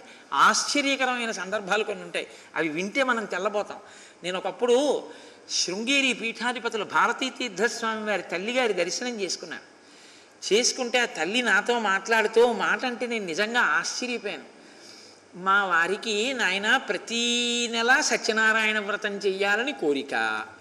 ప్రతీ నెల సత్యనారాయణ వ్రతం చేస్తే ఐదు కథలకి కొట్టడానికి ఐదు కొబ్బరికాయలు కొనుక్కోగలిగిన స్తోమత కాదు మాదప్పుడు. ఐదు కథలకే ఐదు కొబ్బరికాయలు కొట్టలేక అసలు కొబ్బరికాయే కొట్టకుండా నైవేద్యం పెట్టి వ్రతం చేసేవాళ్ళం. ఆ తర్వాత తర్వాత సత్యనారాయణ వ్రతానికి ఒక్క కొబ్బరికాయ కొనుక్కోగలిగిన రోజులు వచ్చినప్పుడు ఎంత సంతోషించాము అన్నారు ఆవిడ. అది ధార్మికమైనటువంటి అభివృద్ధిలో ఆనందం. ఎంత నాకు నిజంగా ఏమి గొప్ప మాటలు రాయి ఈ మాటలు నిజంగా ఏమి ధ అద్భుతం రా ఎంత తృప్తిరా వీళ్ళది? సత్యనారాయణ వ్రతానికి ఒక్క కొబ్బరికాయ కొనుక్కున్ననాడు మేము తృప్తి పొందామన్నారు ఎన్ని కొనుక్కున్నా దిక్కుమాలింది అసంతృప్తే ఎన్ని కొనుక్కున్నా అసంతృప్తే. అసలు సత్యనారాయణ వ్రతానికి ఐదు పెద్ద కొబ్బరికాయలు కొనుక్కున్నామని తృప్తి అన్న స్థితి ఎక్కడుంది నీకు? అసలు అటువే ఆ పథంలో ఆలోచన ఉంటే కదూ? కాబట్టి ఆవిడంది పెద్ద పెద్ద భోగాలన్నీ అకస్మాత్తుగా ఎప్పుడు ఆగిపోతాయంటే ఇదిగో ఈ రాచ కుటుంబాల్లోనే ఆగిపోతాయి వచ్చిన పెద్ద గొడవ. రాణిగారిగా ఉన్నంతకాలం పర్వాలేదు. ఎవడో వచ్చి యుద్ధం చేస్తాడు రాజుగారి తెగిపోతాడు. ఈవిడ ఏ పాతాల గృహంలోంచి ఆ కొడుకుని ఎత్తుకుని అరణ్యాలకు పారిపోతుంది. శత్రువులు వస్తారేమో అని మారువేషంలో ఇంత పల్లకీల్లో ఊరేగిన ఆవిడ పరుల పంచన పాచి పనులు చేసి బతుకుతూ ఉంటుంది. కాబట్టి ఆవిడంది శైవాన్యేవాస్మి సంవృత్త దిగ్రా దిగ్రాజ్ఞాం చంచలాశ్రియాహ. ధిక్ అంటే చెయ్యి అని సంస్కృతంలో. ఛై ఈ రాచరికంలో పొందేటటువంటి సౌఖ్యాలు ఉన్నాయి చూసారా ఇవి అత్యంత ప్రమాదం. ఆకాశమంత ఎత్తులో తిప్పుతాయి పాతాళమంత కిందకి తోసేస్తాయి అకస్మాత్తుగా. చూసావా నీ మరణంతో ఇప్పుడు నేను ఏ స్థితికి వెళ్ళాను? అంది ఆవిడ. అంటూ ఆవిడంది యాస్త్రయా విధవా రాజన్ కృతా నైకాహ కులస్త్రియ పతివ్రత ధర్మపరా గురు శుశ్రేషే గురు శుశ్రే గురు శుశ్రూషణే రతా తాభి శోకాభితప్తాభి శప్త పరవశంగత. ఇది నీకు అకస్మాత్తుగా వచ్చింది కాదు. నీ వల్ల ఇలా ఎంతమంది ఏడిచారు ఎన్ని లక్షల మంది కాంతలు కులస్త్రీలు పతివ్రతలు ధర్మపరాయణులు పెద్దల శుశ్రూష చేసేటటువంటి ఆడవాళ్ళు ఎన్ని లక్షల మందో ఏడిస్తే ఎక్కడికి పోతుందిరా పాపం? కట్టుకున్నందుకు నేను ఏడుస్తున్నాను ఇవాళ. చూశావా? అని సుకృతం దుష్కృతం చత్వం. గృహీత్వా స్వాం గతింగత ఆత్మానం అనుశోచామి తద్వియోగేన దుఃఖిత. పుణ్యమో పాపమో నీ మూట నువ్వు పట్టుకుని వెళ్ళిపోయావు పుణ్యం అయిపోయింది. కానీ నా బతుకే భయంగా తయారైంది అంది. ఎందుకో తెలుసా అండి? ఆవిడ అండంలో ఒక చమత్కారం ఉంది. ఎంత పెద్ద మాట నాలో అంత పెద్ద మాట ఇందులో దాచేసింది ఆవిడ. పుణ్యమే చేశావో పాపమే చేశావో రాముడి చేతిలో చచ్చిపోయావు. ధర్మాత్ముడుగా విభీషణుణ్ణి నీకు అంత్యేష్టి చేయమన్నాడు. కాబట్టి చేసేస్తాడు. రేపు నేను పోతే ఏడి కొడుకు? చంపేశావుగా నీ కామానికి ఇంద్రజిత్తుని చంపేశావుగా? కొడుకులందరినీ చంపేశావుగా? నీకు నీ తమ్ముడు చేస్తున్నాడు. రేపు నాకు చేయడానికి కొడుకుని మిగల్చకుండా చచ్చిపోయావు. ఇది నీ దారుణం. మామూలుగా కొడుకు తనంత తాను వెళ్ళిపోతే ఏమో నీ కామానికి చంపి నువ్వు చచ్చిపోయావు. నీ పుణ్యం పాపం నీ మూట కట్టుకు నువ్వు పోయావు. నా పరిస్థితి ఏమిట్రా అంది ఆవిడ. వెళ్ళకరా ప్రమాదకరమైన వాటి జోలికి వెళ్ళకు. ఇలాంటి నిందలే పడిపోతావు. ఎలా బతికావన్నది కాదు ఎలా చచ్చిపోయావన్నది చూస్తారు. అందుకని అన్నీ తెలిసిన వాడికి అమావాస్య మరణం ఏమీ తెలియని వాడికి ఏకాదశి మరణం అని అందుకన్నారు. కాబట్టి నీకు ఎన్ని తెలుసు కాదు నువ్వు ఎంత అనుష్ఠిస్తావు ఎంత జాగ్రత్తగా బతుకుతావు. అనాయాసైన మరణం వినా దైన్యేన జీవితం. ఇవి చాలా ప్రధానం. ఇవన్నీ ఎక్కడ ఇంతమంది చూస్తుండగా ఇంతటి మహానుభావుడని అందరూ చెప్పుకున్నటువంటి రాక్షసుల ముందు పట్టమహిషి ఇస్తున్న కితాబ్ రావణాసురుడికి. అని ఈ మాటలు చెప్పి మారీచ కుంభకర్ణాభ్యాం వాక్యం మమ పితుస్తథా నశ్రుతం వీరమ వీర్యమత్తేనా తస్యేదం ఫలమీదృశం. మారీచుడు చెప్పాడు కుంభకర్ణుడు చెప్పాడు మా నాన్నగారు చెప్పారు నేను చెప్పాను నీ తమ్ముడు చెప్పాడు. చిట్ట చివరికి ఏమైంది? నీలజీమూత సంకాశ పీతాంబర శుభాంగద స్వగాత్రాన్ని వినిక్షిప్య కింశీషే రుధిరాప్లుత.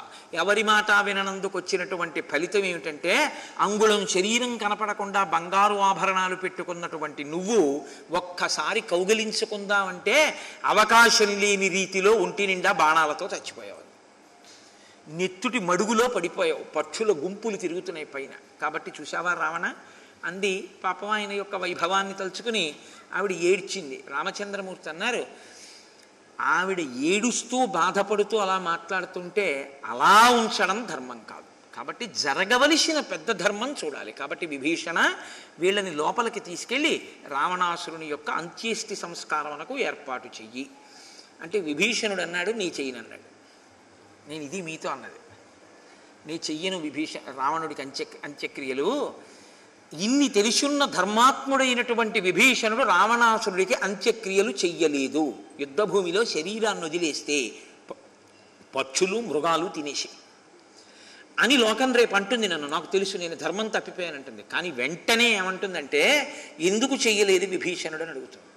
ఎంత దౌర్భాగ్యపు బతుకు బతికాడు వాడు. అటువంటి వాడి శరీరానికి ఎలా చేస్తాడు అంత్యేష్టి విభీషణుడు. అసహ్యం వేసింది వదిలేశాడంటారు. కాబట్టి రామ నీ చేయలేదు ఇప్పుడు మళ్ళీ రాముడు ఏమన్నాడో తెలుసా అండి? మరణాంతాని వైరాని. ఇది ఎప్పటి ఎందుకు తెలుసుకోవాలి నువ్వు పాత కథ? మరణంతో ఆ వైరం పోయింది. నువ్వు చేస్తావా? నీకు ఎంతో నాకు అంతే కాబట్టి నీ చెయ్యాలా? అని అడిగాడు. అప్పుడు విభీషణుడు అన్నాడు నేనే చేస్తానన్నాడు. అప్పుడు రావణాసురుడి శరీరానికి అంత్యక్రియలు జరిగాయి. ఇది రామచంద్రమూర్తి యొక్క ధార్మిక నిష్ఠ అంటే. మహానుభావుడు అంతటి ధర్మం ఉన్నవాడు. కాబట్టి ఇప్పుడు అంత్యేష్టి సంస్కారం అయిపోయింది. ఆ రాక్షసులందరూ వచ్చారు. వానర యోధులు కలిసి రామచంద్రమూర్తి దగ్గర నమస్కారం చేస్తూ నిలబడ్డారు. లక్ష్మణమూర్తిని పిలిచి తతస్యేకం ఘటం గృహ్య సంస్థాప్య పరమాసనే ఘటేన తేన సౌమిత్రి అభ్యసించద్విభీషణం లంకాయాం రక్షసాం మధ్యే రాజానం రామశాసనాత్ విధినా మంత్రదృష్టేన సుహృద్గణ సమావృతం అభ్యసించత్ సధర్మాత్మ శుద్ధాత్మానం విభీషణం. శుద్ధాత్ముడైనటువంటి విభీషణుణ్ణి రాముని యొక్క అనుజ్ఞ మేరకి లక్ష్మణస్వామి సముద్రంలో ఉండేటటువంటి జలాల్ని ఒక ఘటంతో తీసుకొచ్చి అభిషేకం చేసి విభీషణుణ్ణి రాజ్యమునందు ప్రతిష్ఠించారు. లంకకి రాజు విభీషణుడు అయ్యాడు రావణ పాలిత అయిన లంక విభీషణ పాలిత అయినటువంటి లంకగా మారిపోయింది. ఇప్పుడు రామచంద్రమూర్తి హనుమని పిలిచి ఒక మాట చెప్పారు. ప్రతి ప్రతిగృహ్యచ సందేశం ఉపవ ఉపావర్తితుమర్హసి ఇప్పుడు రావణుడు నిహతుడయ్యాడని నేను బయట ఎదురు చూస్తున్నానని ఈ విజయ వార్తల్ని సీతమ్మకి అందించి నా సందేశాన్ని చెప్పి సీతమ్మ ఏమంటుందో కనుక్కురా. అంటే హనుమ బయలుదేరి అశోకవనంలోకి రివ్వున వెళ్ళారు. ఒక నమస్కారం చేశారు. ఆ తల్లి ధ్యానపరాయణ అయి కూర్చునుంది. అక్కడికి వెళ్ళినటువంటి హనుమ ఎంతో సంతోషంగా చెప్పారమ్మా ఇప్పుడు నువ్వు ఇంత భయంగా ఉండవలసినటువంటి పరిస్థితి కాదు. ఎందుచేత అంటే సంభ్రమశ్చన గంతవ్యో వర్తంత్యా రావణాలయే విభీషణ విధేయం హి లంకైశ్వర్యమిదం కృతం. ఇప్పుడు ఈ లంక రావణపాలిత అయిన లంక కాదు విభీషణుడు పరిపాలిస్తున్న లంక. విభీషణుడు రామచంద్రమూర్తి యొక్క మిత్రుడు. కాబట్టి తల్లి నువ్వు సంతోషంగా ఉండొచ్చమ్మా. రావణుడు నిహతుడైపోయాడు. రామచంద్రమూర్తి విజయాన్ని సాధించారు. తల్లి రాముడు ఎదురు చూస్తున్నాడు. అంటే వెంటనే సీతమ్మంది శ్రీరామాయణంలో రాముని చేత సీతమ్మ చేత కూడా ఇదే కితాబు పొందిన ఏకైక యోధుడు హనుమ. ఆవిడంది ప్రియం ఏతదుపశ్రుత్య భర్తుర్విజయ సంశ్రియం సంశ్రియ సంశ్రితం ప్రహర్షవశమాపన్న నిర్వాక్యాస్మి క్షణాంతరం నహి పశ్యామి సదృశం చింతయంతి ప్లవంగమ మత్ప్రియాఖ్యాన మ- మత్ప్రియాఖ్యానకస్యేహ తవ ప్రత్యభినందనం నచ పశ్యామి తత్ సౌమ్య పృథివ్యామపి వానర సదృశం మత్ప్రియాఖ్యానే తవ దాతుం భవేత్ సమం హిరణ్యం వా సువర్ణం వా రత్నాని వివిధాని చ రాజ్యం వా స్త్రిషు లోకేషు నైతదర్హతి భాషితుం ఇవాళ నువ్వు చెప్పినటువంటి ఈ శుభవార్తకి నీకు నేను ఇవ్వగలిగినటువంటి కానుక అన్నది నాకు ఏదీ కనపట్టలేదు. సుందరకాండ చివర రాముడు ఏ మాట అన్నారో అదే మాట సీతమ్మ అంది. ఇంతకన్నా గొప్ప శుభవార్త నా జీవితంలో ఇంకొకటి ఉంటుందని కూడా నేను అనుకోవట్లేదు. బంగారము కానీ రత్నములు కానీ మూడు లోకముల రాజ్యము కానీ నీకు ఇచ్చినా నువ్వు చెప్పి చెప్పినటువంటి శుభవార్తకి తుల్యమైనటువంటి కానుక ఇవ్వడం నాకు చేతనైనటువంటి విషయం కాదు. అంత గొప్ప సంతోషకరమైన వార్త చెప్పావు హనుమ అని సీతమ్మ తల్లి ఎంతో సంతోషించింది. అటువంటి సమయంలో స్వామి హనుమన్నారు అమ్మా ఆనాడు నేను శింశుపావృక్షం మీద కూర్చుని నీ దర్శనానికి వచ్చిన రోజుల్లో చూశాను. నీ చుట్టూ ఉన్న ఈ రాక్షస కాంతలందరూ నిన్ను పరిపరి విధముల వేధిస్తుండగా మాటలతో హింసిస్తుండగా విన్నాను. తల్లి నువ్వు నన్ను అనుగ్రహించావా? అనుమతించావా? నా వాడి గోళ్ళతో వీళ్ళ హృదయములను చీల్చేసి వీళ్ళ పొట్టలు పగలగొట్టి నా మోకాళ్ళతో కుమ్మి ఈ రాక్షస స్త్రీలందరినీ సంహరిస్తానమ్మా అన్నారు. సీతమ్మ తల్లంది అయం వ్యాఘ్ర సమీపేతు పురాణో ధర్మ సంస్థిత రుక్షేణ గీత శ్లోకో మే తం నిబోధ ప్లవంగమ నపర పాప మాదత్తే పరేషాం పాపకర్మణాం సమయో రక్షితవ్యస్తు సంతశ్చారిత్రభూషణా. నాయన నేను నీతో ఒక మాట చెప్తాను జాగ్రత్తగా విను. ప్రభు ఏం చెప్పాడో అది చెయ్యడం సేవకుల యొక్క కర్తవ్యం. రావణాసురుడు వాళ్ళ ప్రభువు రావణుడు ఏం చెప్పాడో వాళ్ళు అది చేశారు. ఇప్పుడు విభీషణుడు ప్రభువు విభీషణుడు ఏం చెప్తాడో అది చేస్తారు. వాళ్ళ కర్తవ్యం వాళ్ళు చేశారా లేదా అంతవరకు? వాళ్ళ కర్తవ్యం వాళ్ళు చేశారు. నీ ప్రభువు చెప్పిన కర్తవ్యం నువ్వు చేశావు. ఇప్పుడు దాన్ని కోపంగా పెట్టుకుని వాళ్ళని సంహరించవలసిన అవసరం ఏమిటి? నాకు ఈ సమయంలో ఒక శ్లోకం ఒక సందర్భం జ్ఞాపకం వస్తోంది హనుమ అని ఆ తల్లి ఈ విషయాన్ని చెప్తోంది. నపర పాపమాదత్తే పరీషాం పాపకర్మణాం సమయో రక్షితవ్యస్తు సంతశ్చారిత్రభూషణా ఒకనకొకప్పుడు ఒక వ్యాధుడు అంటే ఒక కిరాతుడు ఒక బోయవాడు అరణ్యంలోకి ప్రవేశించాడు. ప్రవేశించి జంతువుల్ని వేటాడుతున్నాడు. ఆ వేటాడుతున్న సమయంలో అతన్ని ఒక పెద్ద పులి తరిమింది. ఆ వేటగాడు భయపడి పరిగెత్తి పరిగెత్తి పెద్ద పులి నుంచి తప్పించుకోవడానికి ఒక పెద్ద చెట్టు మీదకి ఎక్కేశాడు. తీరా చెట్టు మీదకి ఎక్కేసి పైన చూసేటప్పటికి ఒక ఎలుకబంటి చెట్టు మీద పడుకున్నాడు. ఇప్పుడు ఆ ఎలుకబంటిని చూసి అతను భయపడ్డాడు. కిందనున్న పులి అంది ఓ ఎలుకబంటి నువ్వు వనంలో తిరిగే మృగానివి. నేను వనంలో తిరిగే మృగాన్ని. ఈ మనుష్యుడు నీకు నాకు కూడా చెందనివాడు.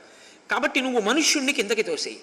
నేను మనుష్యుణ్ణి తిని వెళ్ళిపోతాను. నువ్వు చెట్టు దిగి వెళ్ళిపోను. అంటే ఆ ఎలుకబంటి అంది నేను ఉన్న చెట్టు మీదకే ఆర్తితో పరిగెత్తుకొచ్చాడు. కాబట్టి నాకు శరణాగతి చేశాడు రక్షించమని. తెలిసో తెలియకో నా దగ్గరికి వచ్చాడు కాబట్టి నేను మనుష్యుణ్ణి తొయ్యను. నేను ఇతన్ని రక్షిస్తాను. ఇది నా ధర్మం అని. ఇద్దరూ చెట్టు మీద కూర్చున్నారు పులి కింద కూర్చుంది. ఎవరో ఒకళ్ళు దొరకపోతారని. కాసేపటికి ఎలుకబంటికి నిద్ర వచ్చింది నిద్ర వచ్చి నాయనా నేను పడిపోతానేమో నీ ఒళ్ళో తల పెట్టుకుని కొమ్మల మధ్యలో గుబురుగా ఉన్న చోట పడుకుంటాను కునుకొస్తోంది జారిపోతానేమో అంది. అంటే మనుష్యుడు అన్నాడు సరే అయితే నా ఒళ్ళో తల పెట్టుకో అన్నాడు. ఇలుకుబంటి మనిషి ఒళ్ళో తల పెట్టుకుని నిద్రపోతాను నిద్రపోతు నిద్రపోయిన తర్వాత పెద్ద పులంది ఆ ఎలుకబంటి వనమృగం. అది నిద్రలేస్తే ఆకలేస్తుంది. ఆకలేశాక అది తినేస్తుంది. అంతకన్నా నిద్రలో ఉంది కాబట్టి దాన్ని తోసేయి.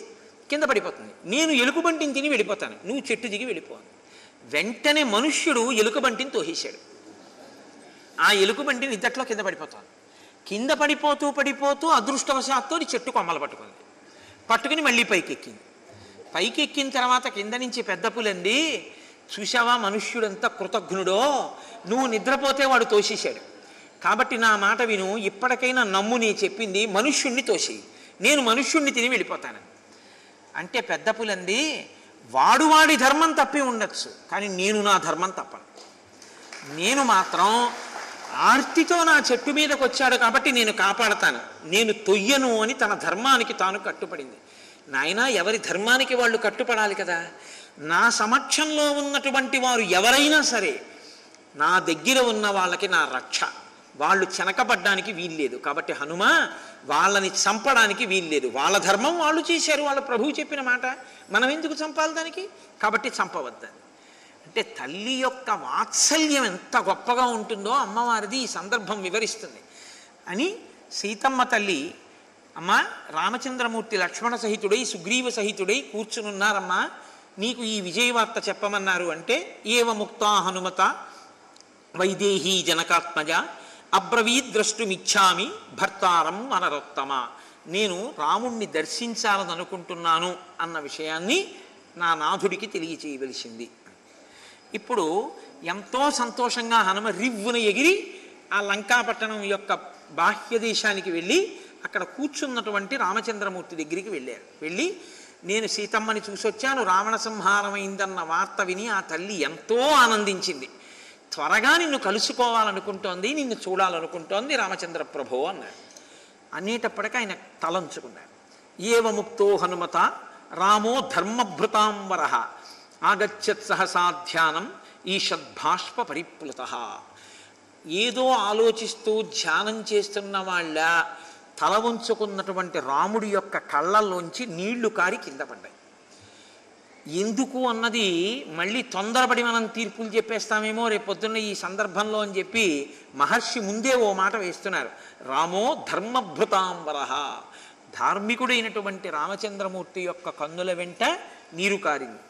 దీర్ఘం ఉష్ణం మినిశ్వస్య మీదినీం అవలోకయన్ ఉవాచ మేఘసంకాశం విభీషణ ఉపస్థితం ఆయన ఆ నేల వంకే చూస్తూ మేఘం ఉరిమినట్టుగా చాలా దీర్ఘమైనటువంటి నిట్టూర్పు ఒకటి విడిచిపెట్టి ఒక మాట అన్నారు. ఎవరితో? హనుమతో కాదు విభీషణుడితో. దివ్యాంగరాగాం వైదీహీం దివ్యాభరణభూషితాం ఇహ సీతాం శిరస్నాతం ఉపస్థాపయమాచిరం. శిరస్నానం చేసి పట్టుబట్టలు కట్టుకొని సమస్త భూషణములను అలంకరించి అంగరాగాదులను పైన పూసుకున్నటువంటి సీతమ్మ తల్లిని నా దగ్గరకి ప్రవేశపెట్టండి. వెంటనే విభీషణుడు ఒక పల్లకీని సిద్ధం చేసి అశోకవనంలో శిశుపావృక్షం దగ్గరికి తీసుకెళ్ళాడు. తీసుకువెళ్ళి అమ్మ నిన్ను రామచంద్రమూర్తి స్నానం చేసి ఆభరణములను ధరించి ఉత్తమమైన వస్త్రాన్ని ధరించి అంగరాగములను అనులేపనం చేసుకుని తన సన్నిధికి రమ్మన్నారు. అంటే ఆ తల్లింది ఎంతో కాలంగా ఎదురు చూస్తున్నాను భర్త కోసం. ఇంత అలంకారం చేసుకుని రావాలా భర్తని చూడడానికి? నేను ఇప్పుడే ఇలాగే వస్తాను. అంటే ఆయన అన్నాడమ్మా రాజాజ్ఞ. రాముడు అలా రమ్మన్నాడు. అలా రమ్మండం ఏమిటి? అని అడగగలిగిన ధైర్యం మాకు లేదు. కాబట్టి నువ్వు అలా వస్తే బాగుంటుంది. కాబట్టి ఇప్పుడు ఆ తల్లి అలా బయలుదేరి వచ్చింది. మీరు సరే నేను తర్వాత వివరణ చేస్తాను. ఎప్పటికప్పుడు చెప్పడం కష్టం ఈ ఘట్టాన్ని. కాబట్టి నేను తర్వాత వివరణ చేస్తాను. ఇప్పుడు ఆ తల్లిని అలా అలంకారాన్ని చేసుకున్న తర్వాత పల్లకీలో కూర్చున్న సీతమ్మని రామచంద్రమూర్తి యొక్క సమక్షానికి తీసుకొచ్చారు. ఇప్పటి వరకు అక్కడ ఉన్నటువంటి వానరులు కానీ రాక్షసులు కానీ చూడలేదు సీతమ్మని. ఎందుకంటే రాక్షసీ స్త్రీలు తప్ప రాక్షసులన్న వాళ్ళని చూడనివ్వలేదు రావణుడు. ఆయన కామ వ్యామోహం అటువంటిది. మండోదరి యుద్ధభూమిలో రావణుడు పడిపోతే లోపలికి వెడుతూ మొదటే ఓ మాట అంది నేను నీవు మరణించావన్న వార్త విని రాచకాంతలు వేసుకోవలసిన వల్లెవాటు వేసుకోకుండా వచ్చినందుకు అందరూ నన్ను చూసినందుకు కోపగించుకురావడా అంది. అంటే ఆయన తన భార్య అయితే అలా మాట్లాడతాడు. ఇతర స్త్రీలను ఎత్తుకొచ్చేటప్పుడు ఈ ధర్మం ఉండదు మండోదరి మాట్లాడడంలో రావణుని యొక్క శీలాన్ని ఆవిష్కరిస్తారు మహర్షి. కాబట్టి ఇప్పుడు ఆవిడ పల్లకి దిగి కిందకి అడుగు పెట్టింది. ఒక్కసారి ఆవిడ్ని చూడాలని ఈ వానరులు అందరూ కోలాహలంతో పెద్ద ధ్వని చేస్తూ ఒకరి మీద ఒకరు ఒకరి మీద ఒకరు ఎగిరి చూస్తున్నారు. అక్కడ ఉన్నటువంటి విభీషణ కింకరులు కదండి రాక్షసులు ఇప్పుడు. వాళ్ళు వేత్రహస్తులై అంటే బెత్తాలు పట్టుకుని ఆ బెత్తాలతో ఈ వానరులందరినీ కొడుతున్నారు. దూరంగా తొలగండి దూరంగా తొలగండి సీతమ్మ వస్తోంది ఏమిటా మీద పడ్డామని. రాముడికి ఎక్కడ లేని కోపం వచ్చింది. ఈ సీతమ్మ కోసం యుద్ధం చేసి ప్రాణాలు వదిలిపెట్టారు. ఈ సీతమ్మను చూస్తానని ఎగిరిగిరి చూస్తే మాత్రం ఆయన బెత్తాలు పెట్టి కొడుతున్నారు. ఇదే మర్యాద. అని ఆయన ఎక్కడ లేని కోపాన్ని పొందినవాడై ఆయన అన్నాడు వ్యసనేషు న కృచ్ఛ్రేషు న యుద్ధేషు స్వయంవరే న క్రతౌన వివాహే చ దర్శనం దుష్యతి స్త్రియాహ రాచకాంత వ్యసనేషు ఏదైనా చాలా గొప్ప రాచకార్యం ఏర్పడితే కృచ్ఛ్రేషు అంటే క్షోభ ఏదైనా ఏర్పడితే లేకపోతే యుద్ధేషు యుద్ధం వస్తే స్వయంవరే స్వయంవరంలో నా క్రతువు ఏదైనా పెద్ద ఉత్సవం జరుగుతున్నప్పుడు యజ్ఞయాగాది క్రతువులు జరుగుతున్నప్పుడు వివాహేచ వివాహం జరుగుతున్నప్పుడు దర్శనం దుష్యతి స్త్రియాహ. స్త్రీ భర్త పక్కన ఉండగా వచ్చి నిలబడినా కూర్చున్నా అందరూ చూసినా అది రాచరికపు మర్యాదలకి తక్కువేం కాదు. కాబట్టి సీతమ్మని ఇలాగే వచ్చి నా పక్కన నిలబడమనండి. ఇప్పుడు సీతమ్మ వచ్చి పక్కన నిలబడింది. రాముడు చూశాడు. ఆ తల్లి సీతమ్మ కూడా రామచంద్రమూర్తి వంక ఒక్కసారి చూసింది. చూసి రురోదాసాధ్య భర్తారం ఆర్యపుత్రేతి భాషిణి. రాముడు తలెత్తలేదు. సీతమ్మతో మాట్లాడి సీత రా అని అనలేదు ఆవిడ అడుగు తీసి అడుగు వేసుకుంటూ రామచంద్రమూర్తి దగ్గరికి వెళ్ళి నిలబడింది. ఆయన ఏమీ మాట్లాడలేదు ఇలా తలెత్తి కూడా ఇలా కన్నెత్తి ఆవిడ వంక చూడలేదు. హడిలిపోయారు సుగ్రీవాదులు. హనుమతో సహా ఇప్పటి వరకు ఒకలా ఉన్నాడు. తీరా సీతమ్మ వచ్చాక ఒకలా ఉన్నాడు. ఏమిటి దీని దీని తాత్పర్యం? రామునికి సీతమ్మ మీద ప్రీతి తరిగిపోలేదు కదా అనుకున్నాడు. ఇప్పుడు ఆ తల్లి ఎవరో ఒకరు మాట్లాడాలి కదండి. కాబట్టి బేలతనం బేలతనమే. కాబట్టి ఆ- ఆ తల్లి అంది రురోదాసాధ్య భర్తారం ఆర్యపుత్రీతి భాషిణి. విస్మయాచ్చ ప్రహర్షాచ్చ స్నేహాచ్చ పతిదేవత బుధైక్షత ముఖం భర్తు సౌమ్యం సౌమ్యతరానన. ఏమి వర్ణిస్తారో మహర్షి నిజంగా చూపులు ఆ మనస్సుని రురోదాసాధ్య భర్తారం ఇంత కాలానికి ఆ భర్తని చూసేటప్పటికి తడు పడిన కష్టాలన్నీ గుర్తొచ్చి వలవల వలవల ఏడ్చేస్తూ నోట మాట రాక ఆర్యపుత్ర అని మాత్రమే అందావిడ అని విస్మయాచ్చ అబ్బా నా కోసం ఇంత కష్టపడి గెలిచారా అని అలా రాముణ్ణి చూసి విస్మయంతో ప్రహర్షాచ్చ ఎంతో సంతోషంతో స్నేహాచ్చ తన భర్త అన్న సంతోషంతో పతిదేవత నేను అనుగమించవలసినటువంటి ఈశ్వర స్వరూపం ఇది అనేటటువంటి భక్తితో ఆయన వంక చూసి సౌమ్యం సౌమ్యతరానన. ఆవిడ ముఖంలో మాత్రం ఏ విధమైనటువంటి మార్పు లేదు. పరమ సౌమ్యంతో ఆమె వదనము నిర్మలమైనటువంటి చంద్రుని కాంతి ఎలా ఉంటుందో అటువంటి కాంతితో ఆ తల్లి అక్కడ నిలబడింది. రాముడు మాత్రం ఇలా కన్నెత్తి చూడలేదు. చూడకుండా సీతమ్మతో అంటున్నాడు ఏషాసి నిర్జితా భద్రే శత్రుం జిత్వామయారణి పౌరుషాజ్య ధనుశ్రేష్టం ధనుష్టేయం తదేతదు దు- తదేత దుపపాదితం. నేను శత్రువుని జయించాను. రాక్షసుని యొక్క చెర నుంచి నిన్ను విడుదల చేశాను. ఒక పరాక్రమశాలి పురుషార్థి అయినటువంటి వాడు తనకి అవమానం జరిగితే ఏవి చెయ్యాలో అవన్నీ చేశాను. చేసి నిన్ను విడిపించాను. గతోస్మ్యంతం అమర్షస్య. దర్శన సంప్రమార్జిత. అవమానశ్చ శత్రుశ్చ. మయా ఉగత దుద్ధృతౌ. ఇప్పటి వరకు నేను ఎంత క్రోధాన్ని పొంది ఉన్నానో రావణుడి మీద. ఆ క్రోధం నాకు ఇక్కడతో పోయింది. రామచంద్రమూర్తి భార్యని సీతమ్మని అపహరించాడు రాముడు ఇంకా రక్షించలేదన్న కళంకం నాకు తొలగిపోయింది. నాకు కలిగిన అవమానం నశించిపోయింది. వీటన్నిటితో పాటు నా శత్రువు కూడా నశించిపోయాడు. అన్నీ ఏకకాలంలో సాధించాను. అద్యమే పౌరుషం దృష్టం అద్యమే సఫల శ్రమ అద్య తీర్ణ ప్రతిజ్ఞత్వాత్ ప్రభవామీహ చాత్మన నా పౌరుషం ఫలించింది నా శ్రమ ఫలించింది నేను చేసినటువంటి ప్రతిజ్ఞ నిలబెట్టుకోగలిగాను. యాత్వం విరహిత నీత చప చలచిత్తేన రక్షస దైవ సంపాదితో దోషో మానుషేన మయాజిత। చపలచిత్తుడైనటువంటి ఒక రాక్షసుడు కాముకుడై నిన్ను అపహరించి తీసుకెడితే నీవు ఆయన చేత అపహరింపబడడం దైవము చేత నిర్ణయింపబడిన కార్యమైతే నేను కేవలం మనుష్యుడనై నేను నా పౌరుషంతో దాన్ని దిద్దే ప్రయత్నం చేసి విజయం సాధించగలిగాను. సంప్రాప్తం అవమానం యహ తేజసాన ప్రమాజ్యతి కస్తస్య పురుషార్థోస్తి పురుషస్యాల్ప తేజస మనుష్యుడు తన మీద వచ్చినటువంటి నింద పోగొట్టుకుని తన పరాక్రమంతో తనకి కలిగినటువంటి ఇబ్బందిని తొలగించుకోనటువంటి వాడు తేజస్సు ఉన్నా కూడా అటువంటి వాణ్ణి అల్ప తేజసుడు అల్పమైన తేజస్సు ఉన్నవాడు అని లోకం నింద చేస్తుంది. కాబట్టి నేను ఇంత శ్రమపడ్డాను. ఆ వాయుసుతుడైనటువంటి హనుమ నూరు యోజనముల సముద్రాన్ని గడచి లంకాపట్టణానికి రావడం అనేటటువంటి క్లిష్టమైన కార్యము యొక్క ప్రయోజనం ఇవాళ పూర్తయింది. ఈ వానరులందరూ కష్టపడి ఈ లంకారాజ్యం మీద వీరోచితంగా నాకు యుద్ధం చేయడంలో సహకరించారు. అది ధన్యత పొందింది. ఈ విభీషణుడు అధర్మాత్ముడు అని రావణుణ్ణి విడిచిపెట్టి ధర్మాత్ముడని నన్ను ఆశ్రయించాడు. ఆయనకి రాక్షసరాజ్యం ఇచ్చాను కృతార్థుణ్ణయ్యాను. యత్కర్తవ్యం మనుష్యేణ దర్శనాం పరిమార్జత తత్కృతం సకలం సీతే శత్రుహస్తాదమర్షణాత్. ఇవన్నీ కూడా నేను ఒక మనుష్యుడు తనకి కలిగినటువంటి నింద తొలగించుకోవడానికి పరాక్రమాన్ని నిరూపించుకోవడానికి తన వంశము కళంకం పొందకుండా ఉండడానికి చేశాను తప్ప నా మనసులో వేరొక ప్రయోజనాన్ని పెట్టుకుని చేసినవి కావు. అంటే నీ కోసం నేను చేయలేదు. విదిత అనుకోకూడదు. ప్రాప్త చారిత్ర సందేహ మమ ప్రతిముఖే స్థిత. దీపో నేత్రాతురస్యేవ ప్రతికూలాసిమే దృఢం. ఒక పెద్ద మాట వేసేసాడు ఇక్కడ? ఆయన అన్నాడు ప్రాప్త చారిత్ర సందేహ అనుమానాస్పదమైనటువంటి నడవడి కలిగిన దానా అన్నాడు. నీ నిన్ను నేను కన్నులెత్తి చూడలేకపోతున్నాను. ఎందుకో తెలుసా?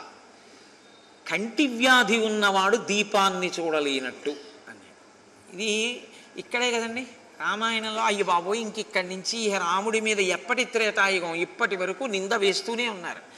నేను అగ్నిప్రవేశం చేయించిన రాముణ్ణి కాను నేను అటువంటి అనుమానం మనిషిని అనుకుంటున్నావా? రా- రాముడి ధర్మం అక్కర్లేదు. అనుమానం ఒకటి మాత్రం కావలసి వచ్చింది. అసలు రా రామాయణంలో ఆ ఘట్టం ఏమిటో సరిగా అర్థమైతే ఆ నింద మనం రాముణ్ణి చెయ్యం. కాబట్టి ఆయన అన్నాడు కంటి కలక నాకు వచ్చింది. దీపం ఎదురుగుండా ఉంది. నేను దీపాన్ని చూడలేకపోతున్నాను.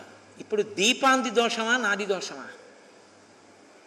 నాది దోషం. నా కంటికి వ్యాధి ఉంది. అందుకని నా కన్ను దీపాన్ని చూడలేకపోతుంది.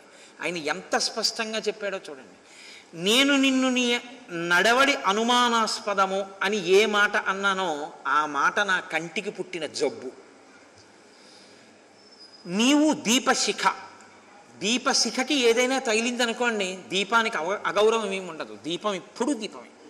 అది ఎప్పుడూ ప్రకాశిస్తుంది ఏది పాడైపోతుందంటే దీపంలోకి వెళ్ళిన పురుగు కాలిపోతుంది. తప్ప దీపానికి ఏమీ ఇబ్బంది ఉండదు. మరి ఇది తెలిసి నన్ను దీపాన్ని ఎందుకు అనలేకపోతున్నావు? నా కంటికి జబ్బు వచ్చింది సీత. ఏమిటో ఆ జబ్బు ఆయన ఎదర చెప్తాడు. ఆయన సీతమ్మని అనుమానించిన వాడు కాదు. నేను ఇవాళ లోకం ఎలా చూస్తుందో ఆ కళ్ళజోడు పెట్టుకు నీ చెప్తున్నాను. ఎందుకో తెలుసా? రేపు నిన్ను లోకం అంటే నేను తట్టుకోలేను. నీ మీద నా ప్రీతి అటువంటిది. ఇది ఆయన బాధ. అందుకని నిన్ను ఈ మాట అనలేక నిన్నిలా కన్నులెత్తి చూస్తే నీ వంక చూస్తే నేను ఇంక అనలేను. అందుకని అసలు చూడలేదు తెలుసా? ఇది ఆయన ప్రేమ ఇది ఆయన ప్రీతి. కానీ ఎందుకు అనవలసి వచ్చిందో చెప్తాడు. తద్గచ్చహ్యభ్యనుజ్ఞాత యథేష్టం జనకాత్పదే ఏతాదశ దిశో భద్రే కార్యమస్తి నమేత్తయా. కప్పుమాన్హికులే జాత స్త్రియం పరగృహోషితాం. తేజస్వి పునరాదత్యాత్ సుహుల్లేఖ్యేన చేతసా. రావణంక పరిభ్రష్టాం దృష్టాం దుష్టేన చక్షుషా కదం త్వాం పునరా పునరాదద్యాం కులం వ్యపదిశన్మహత్ లక్ష్మణేన భరతేవాత్వం కురు బుద్ధిం యథాసుఖం సుగ్రీవే వానరేంద్రే వా రాక్షసేంద్రే విభీషణే నివేశయ మనస్సీతే యథావా సుఖమాత్మన. ఆయన అన్నాడు సీత ఇప్పుడు నీకు ఉన్నటువంటి కష్టం నుంచి నువ్వు విడుదల పొందావు. రావణుని భయం నీకు లేదు. కాబట్టి ఇప్పుడు నువ్వు దశ దిశలలో నీవు ఎక్కడ సంతోషంగా ఉంటాననుకుంటావో అక్కడికి నువ్వు వెళ్ళవచ్చు. ఒకవేళ నీకు రక్షణ లక్ష్మణుడి దగ్గర లభిస్తుంది అనుకుంటే లక్ష్మణుడి దగ్గర ఉండవచ్చు. భరతుడి దగ్గర లభిస్తుంది అంటే భరతుడి దగ్గర ఉండవచ్చు. శత్రుఘ్నుడి దగ్గర లభిస్తుందంటే శత్రుఘ్నుడి దగ్గర ఉండవచ్చు. కాదు కపిరాజైన సుగ్రీవుడి దగ్గర లభిస్తుందంటే ఆయన దగ్గర ఉండవచ్చు. కానీ రావణాసురుడు బలవంతంగా తన చేతితో పట్టుకుని పైకెత్తి తొడ మీద కూర్చోపెట్టుకొని చాలా దగ్గరగా నిన్ను పట్టుకొని కామమోహితమైన కన్నులతో చూసినటువంటి నిన్ను మళ్ళీ తీసుకొచ్చి నా ఇల్లాలి స్థానంలో గౌరవించి నా ఇంటిలో ఉంచుకోగలిగినంత ఔదార్యంతో నేను ఇప్పుడు మాత్రం లేను. అటువంటి స్థితి కుదరదు. కాబట్టి నీవు రక్షణ ఎక్కడ పొందుతావో అక్కడికి నువ్వు వెళ్ళవచ్చు. అంటే సీతమ్మంది కిమ్మాం అసదృశ అసరు అసదృశం వాక్యం ఈదృశం శ్రోత్ర దారుణం. రూక్షం శ్రవయసే వీర ప్రకృత ప్రకృతామివ. ఆవిడంది రామ మీరు మాట్లాడుతున్న మాటలు ఎలా ఉన్నాయో తెలుసా? అసలు ధర్మశాస్త్రము ప్రవర్తన ఏమీ తెలియనటువంటి అత్యంత చౌకబారు ప్రవర్తన కలిగినటువంటి ఒక స్త్రీని అంత చౌకబారుతనం ఉన్న ఒక పురుషుడు మాట్లాడితే ఎలా ఉంటుందో అలా ఉంది. తప్ప ఇది రాముడు సీతతో మాట్లాడే మాటల్లా లేవు. న తథాస్మి మహాబాహో యథాత్వం అవగచ్చసి ప్రత్యయం గచ్చమేయేన చారిత్రేణైవ శపే నేను నా ఏనా నడువడిని నువ్వు సందేహించావో ఆ నా ప్రవర్తన మీద ఒట్టు పెట్టి చెప్తున్నాను. ఇలా స్త్రీ జాతిని శంకించడం అనేటటువంటిది తగదు. నా పాతివ్రత్యము మీద ఆన. నువ్వు నన్ను విశ్వసించు. పృథక్ స్త్రీణాం ప్రచారేణ జాతిం తాం పరిశంకసే. పరిత్యజేమాం శంకాంతో ఎది తేహం పరీక్షిత. మనుష్యుల ఎందు ఎప్పుడూ కూడా ప్రతివారి ఎందు కూడా ఎక్కడో అక్కడ అల్పమైనటువంటి బుద్ధి కలిగిన వాళ్ళు ఉంటారు. అది ఆడవారి ఎందు కావచ్చు మగవారి ఎందు కావచ్చు. అంత మాత్రం చేత అందరినీ ఆ గాట కట్టి మాట్లాడడం కట్టి మాట్లాడడం తప్పు. ఎక్కడో ఎవరో అటువంటి వారిని నువ్వు చూసి ఉండొచ్చు. అంత మాత్రం చేత నన్ను కూడా అలా మాట్లాడడం చాలా తప్పు రామ. యదహం గాత్ర సంస్పర్శం గతాస్మి వివశా ప్రభో కామకారో నమే తత్ర దైవం తత్రాపరాధ్యతి. రావణుడు నన్ను పట్టుకున్నాడు తొడ మీద కూర్చోపెట్టుకున్నాడు అంటున్నావు. రావణుడు నన్ను పట్టుకున్నప్పుడు తన తొడ మీద కూర్చోపెట్టుకున్నప్పుడు నన్ను నేను రక్షించుకోగలిగిన స్థితి నాది కాదు. నేను పతివ్రతని నువ్వు నన్ను రక్షించాలి. నా ధర్మం నీ చేత రక్షింపబడడం. నన్ను నేను రక్షించుకోగలిగినంత బలం నాకు లేదు నా శరీరానికి. అవతల శరీరం యొక్క బలం ఎక్కువ. అవతలవాడు తన శరీరంతో బలంతో నన్ను పట్టుకుని తన తొడ మీద కూర్చోబెట్టుకున్నాడు. అప్పుడు నా మనసు మారి ఉంటే నాది తప్పు. మదధీనంతు ఎత్త ఎత్తన్మే హృదయం తగివర్తతే పరాధీనేషు గాత్రేషు కింకరిష్యామ్యనీశ్వర. నా శరీరమును వాడు పట్టుకున్నాడు నా మనసు నిన్ను పట్టుకుంది. ఏది దోషం చెప్పి ఇప్పుడు? నా దోషం ఉందా? నా మనసు నిన్ను పట్టుకుంది అని నువ్వు నమ్మడానికి నేను ఏం చేయవలసి ఉంటుంది? శరీరం రావణుడు పట్టుకుంటే నా తప్పేమిటి? అంటే సందర్భం వచ్చింది కాబట్టి నేను మీతో ఒక విషయం ప్రస్తావన చేస్తాను సనాతన ధర్మంలో చాలా పెద్ద మాట ఒకటి ఉంది తెలుసా అండి? వివాహ పూర్వము వివాహము చేయబడక ముందు బలాత్కారముగా స్త్రీ అపహరింపబడి ఆమె యొక్క శీలము చెరపబడితే దుర్మార్గుని వలన ధర్మాత్ముడైన ఒక- వేరొక పురుషుడు ఆమెని భార్యగా స్వీకరించవచ్చు. ఆమెకు ఏ దోషమూ కలగదు అని ఉంది. అంత ఉదారంగా మాట్లాడే శాస్త్రాలు. ఆమె మనసు ప్రధానమని చెప్పి. వాడు పశుబలంతో నన్ను తొడ మీద కూర్చోబెట్టుకున్నాడు. నా మనసు నిన్నాశ్రయించింది. ఆశ్రయించింది హా లక్ష్మణ అన్నాను. నా దోషం ఏముంది? కాబట్టి సహ సమృద్ధ సహ సమృద్ధ భావేన సంసర్గేణ చ మానద ఇది తేహం న విజ్ఞాత. హతా తేనాస్మి శాశ్వతం. ఆవిడ ఎంత గొప్పగా పిలిచిందండి భర్తని.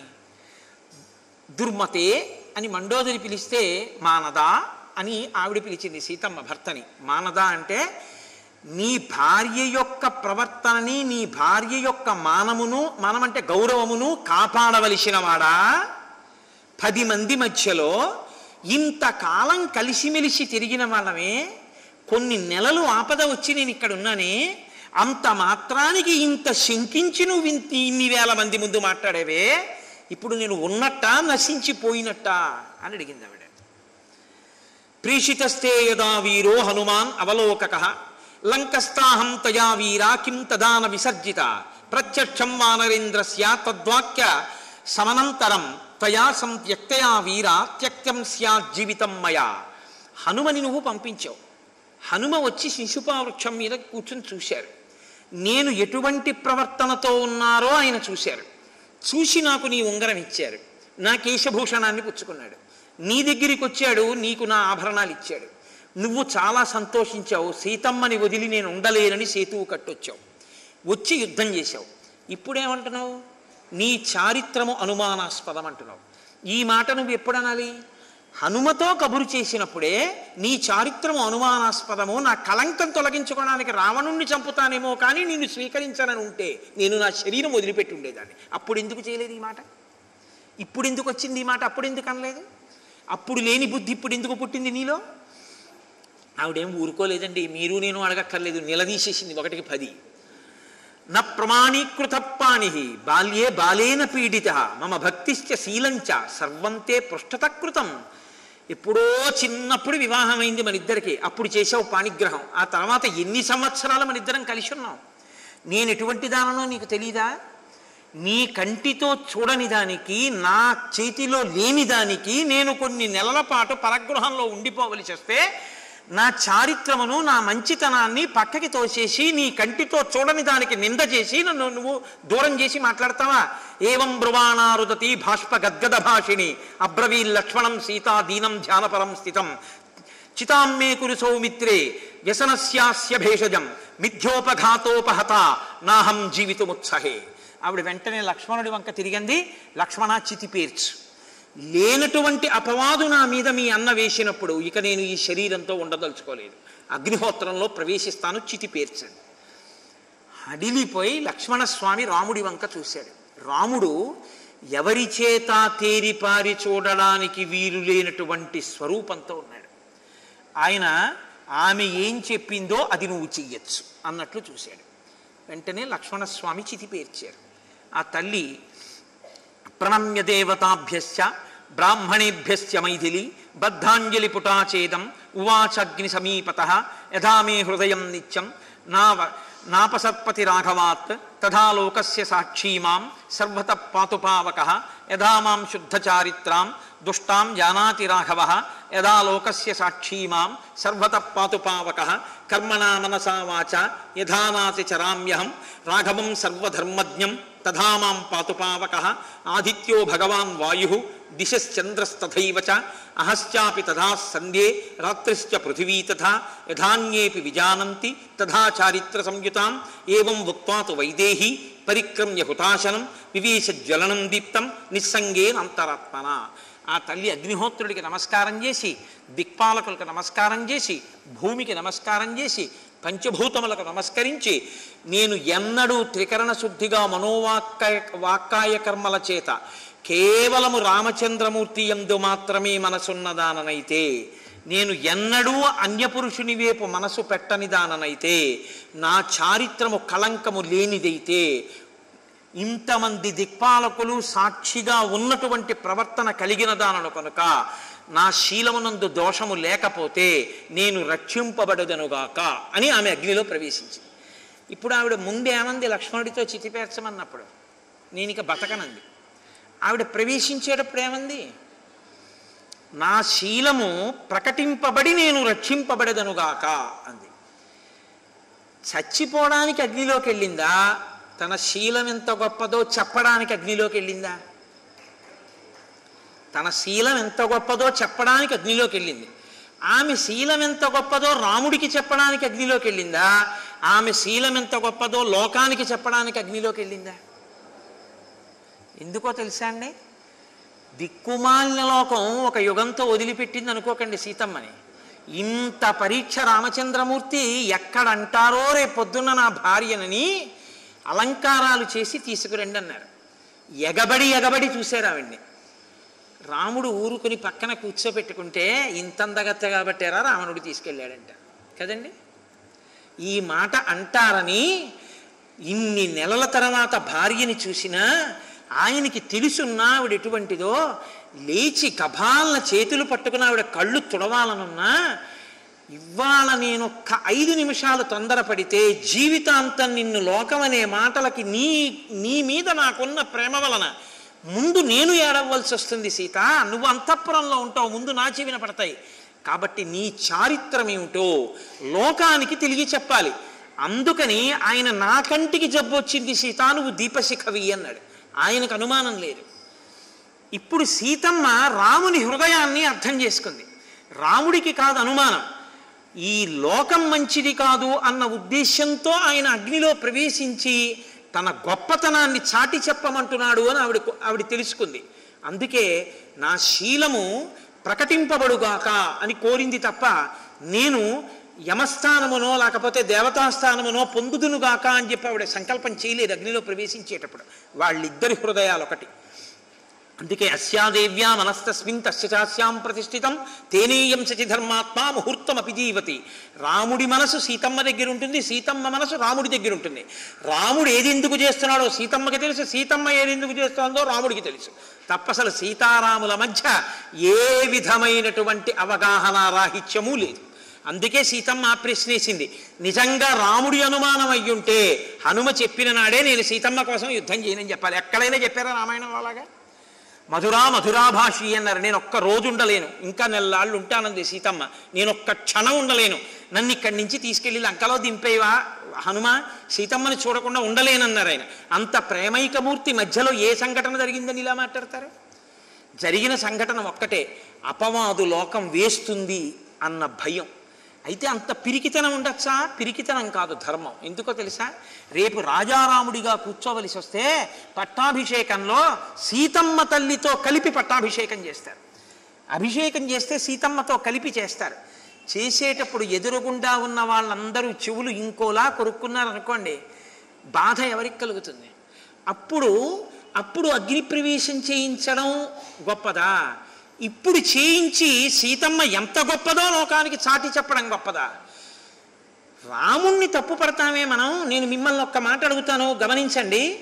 ఇంత గొప్ప పరీక్ష పెట్టారు. నోరు మూసినవాడు ఎవడైనా ఉన్నాడా?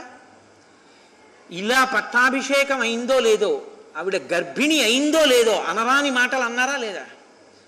అన్నారు కాబట్టి రాజారాముడా సీతారాముడా అని సీతమ్మని గంగ ఒడ్డున రామచంద్రమూర్తి దింపవలసి వచ్చిందా లేదా? నీ మీద నాకు అనుమానం లేదు సీత అని భోరు భోరున ఏడవలసి వచ్చిందా లేదా? ఆఖరికి ఆయన వంశాంకురాన్ని ఆయనకి అప్పజెప్పి సీతమ్మ భూమిలోకి వెళ్ళిపోవలసి వచ్చిందా లేదా? ఎంత పవిత్రమైన వ్యక్తి అయినా లోకం మాత్రం పొడి చేయడం వదిలిపెట్టిందా ఇంత అగ్నిప్రవేశం చేసిన? పోనీ త్రేతాయుగం అయిపోయింది. ఆ చాకలి అక్కడతో వదిలిపెట్టాడా?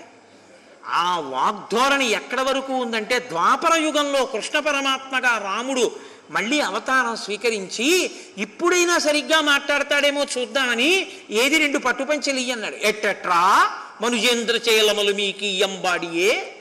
అని నేను కంసుడి బంటుని ఒక్క గుద్దు గుద్దుతాను చచ్చిపోతా అన్నాడు. నీకెందుకు రా గొల్లవాడివి? అన్నాడంటే ఆనాటి లక్ష్మణస్వామి ఇప్పుడు బలరాముడు. బలరాముడు అన్నాడు అన్నయ్య ఒరే తమ్ముడా ఆనాడు పేలడం మొదలుపెట్టిన నోరు ఎన్ని పుర్రెలుగా మారినా దీనికి బుద్ధి పోలేదు. ఈ పుర్రె నీ చేత్తో పగలగొట్టయ్యాడు. అంటే కృష్ణ పరమాత్మ తన పిడికిలి బెగించి వేయి వక్కల ఎట్టు కొట్టారు ఆ పుర్రెని. అంటే ఆ నోటి దురుసుతనానికి ఏది అవకాశంగా దొరుకుతుందని చూడడమే. యుక్తాయుక్త విచక్షణతో మాట్లాడడం లోకంలో అందరికీ ఉండదు. దీని నుంచి భార్యని రక్షించడం రాముని యొక్క ప్రయోజనం. ఆ రక్షించడం. అందుకే ఆవిడంది మానదా అంది. నన్ను రక్షిస్తున్నవాడా? నా గౌరవాన్ని రక్షిస్తున్నవాడా? ఇది ఆవిడికి అర్థమైంది.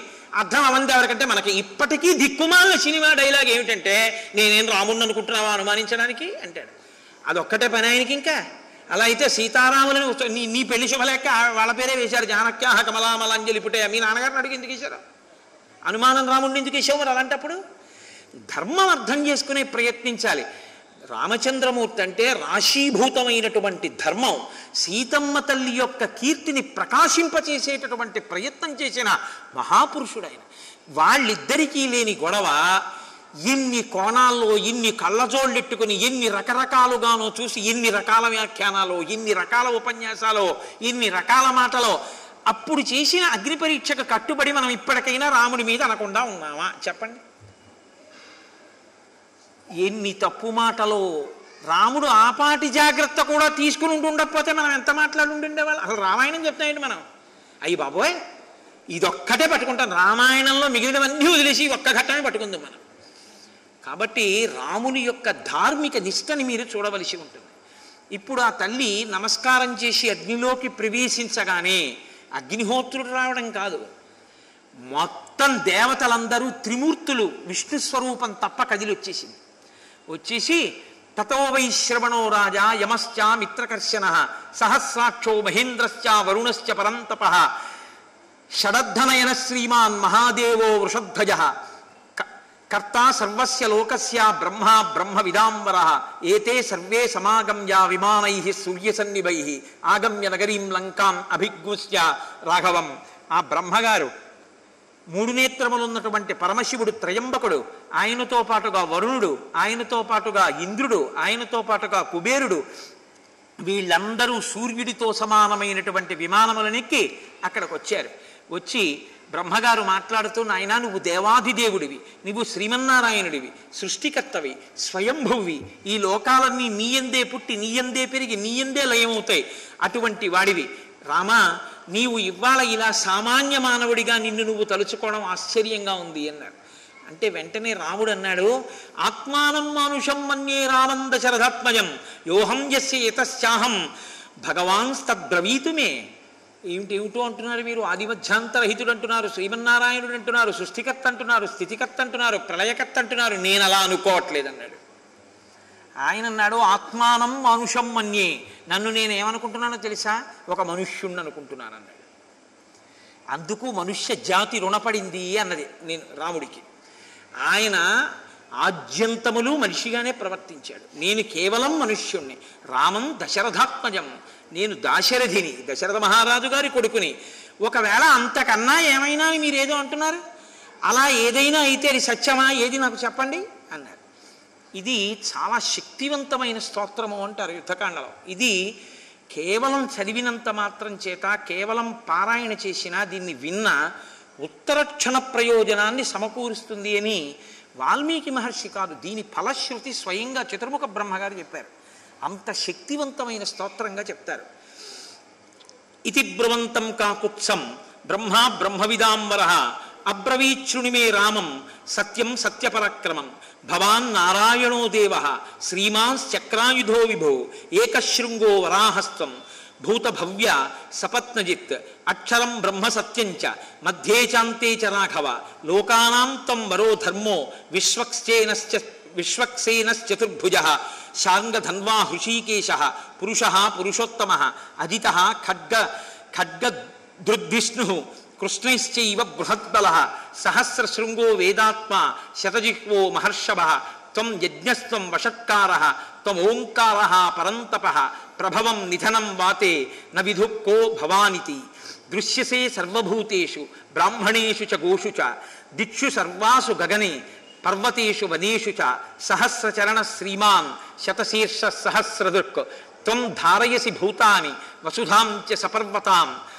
అహంతే హృదయం రామ జిహ్వా దేవీ సరస్వతి దేవా గాత్రేషు రోమాణి నిర్మితా బ్రహ్మణ ప్రభో నిమిషే నిమేషస్తే భవేద్రాత్రి ఉన్మేషస్తే భవేద్దివా సంస్కారా సంస్కార సంస్కారాస్తే భవన్ వేద నతదస్తి త్వయా వినా జగత్సర్వం శరీరం తే స్థైర్యం తే వసుధాతలం అగ్నికోప ప్రసాదస్తే సోమ శ్రీవత్సలక్షణ తయా లోకస్త్రయ క్రాంతా పురాణీ విక్రమైస్త్రిభి మహేంద్రశ్చ కృతో రాజా బలిం బద్ధ్వా మహాసురం సీతాలక్ష్మీర్భవాన్ విష్ణు దేవ కృష్ణ ప్రజాపతి వదార్థం రావణస్యేహ ప్రవిష్టో మనుషీంతను తదిదం న కార్యం త్వయా ధర్మ భృతాంబర నిహతో రావణో నామ ప్రహృష్టో దివమాక్రవ అమోఘం బలవీర్యంతే అమోఘస్తే పరక్రమ అమోఘం దర్శనం రామ నచ మోఘా స్తవస్తవ అమోఘస్తే భవిష్యంతి భక్తిమ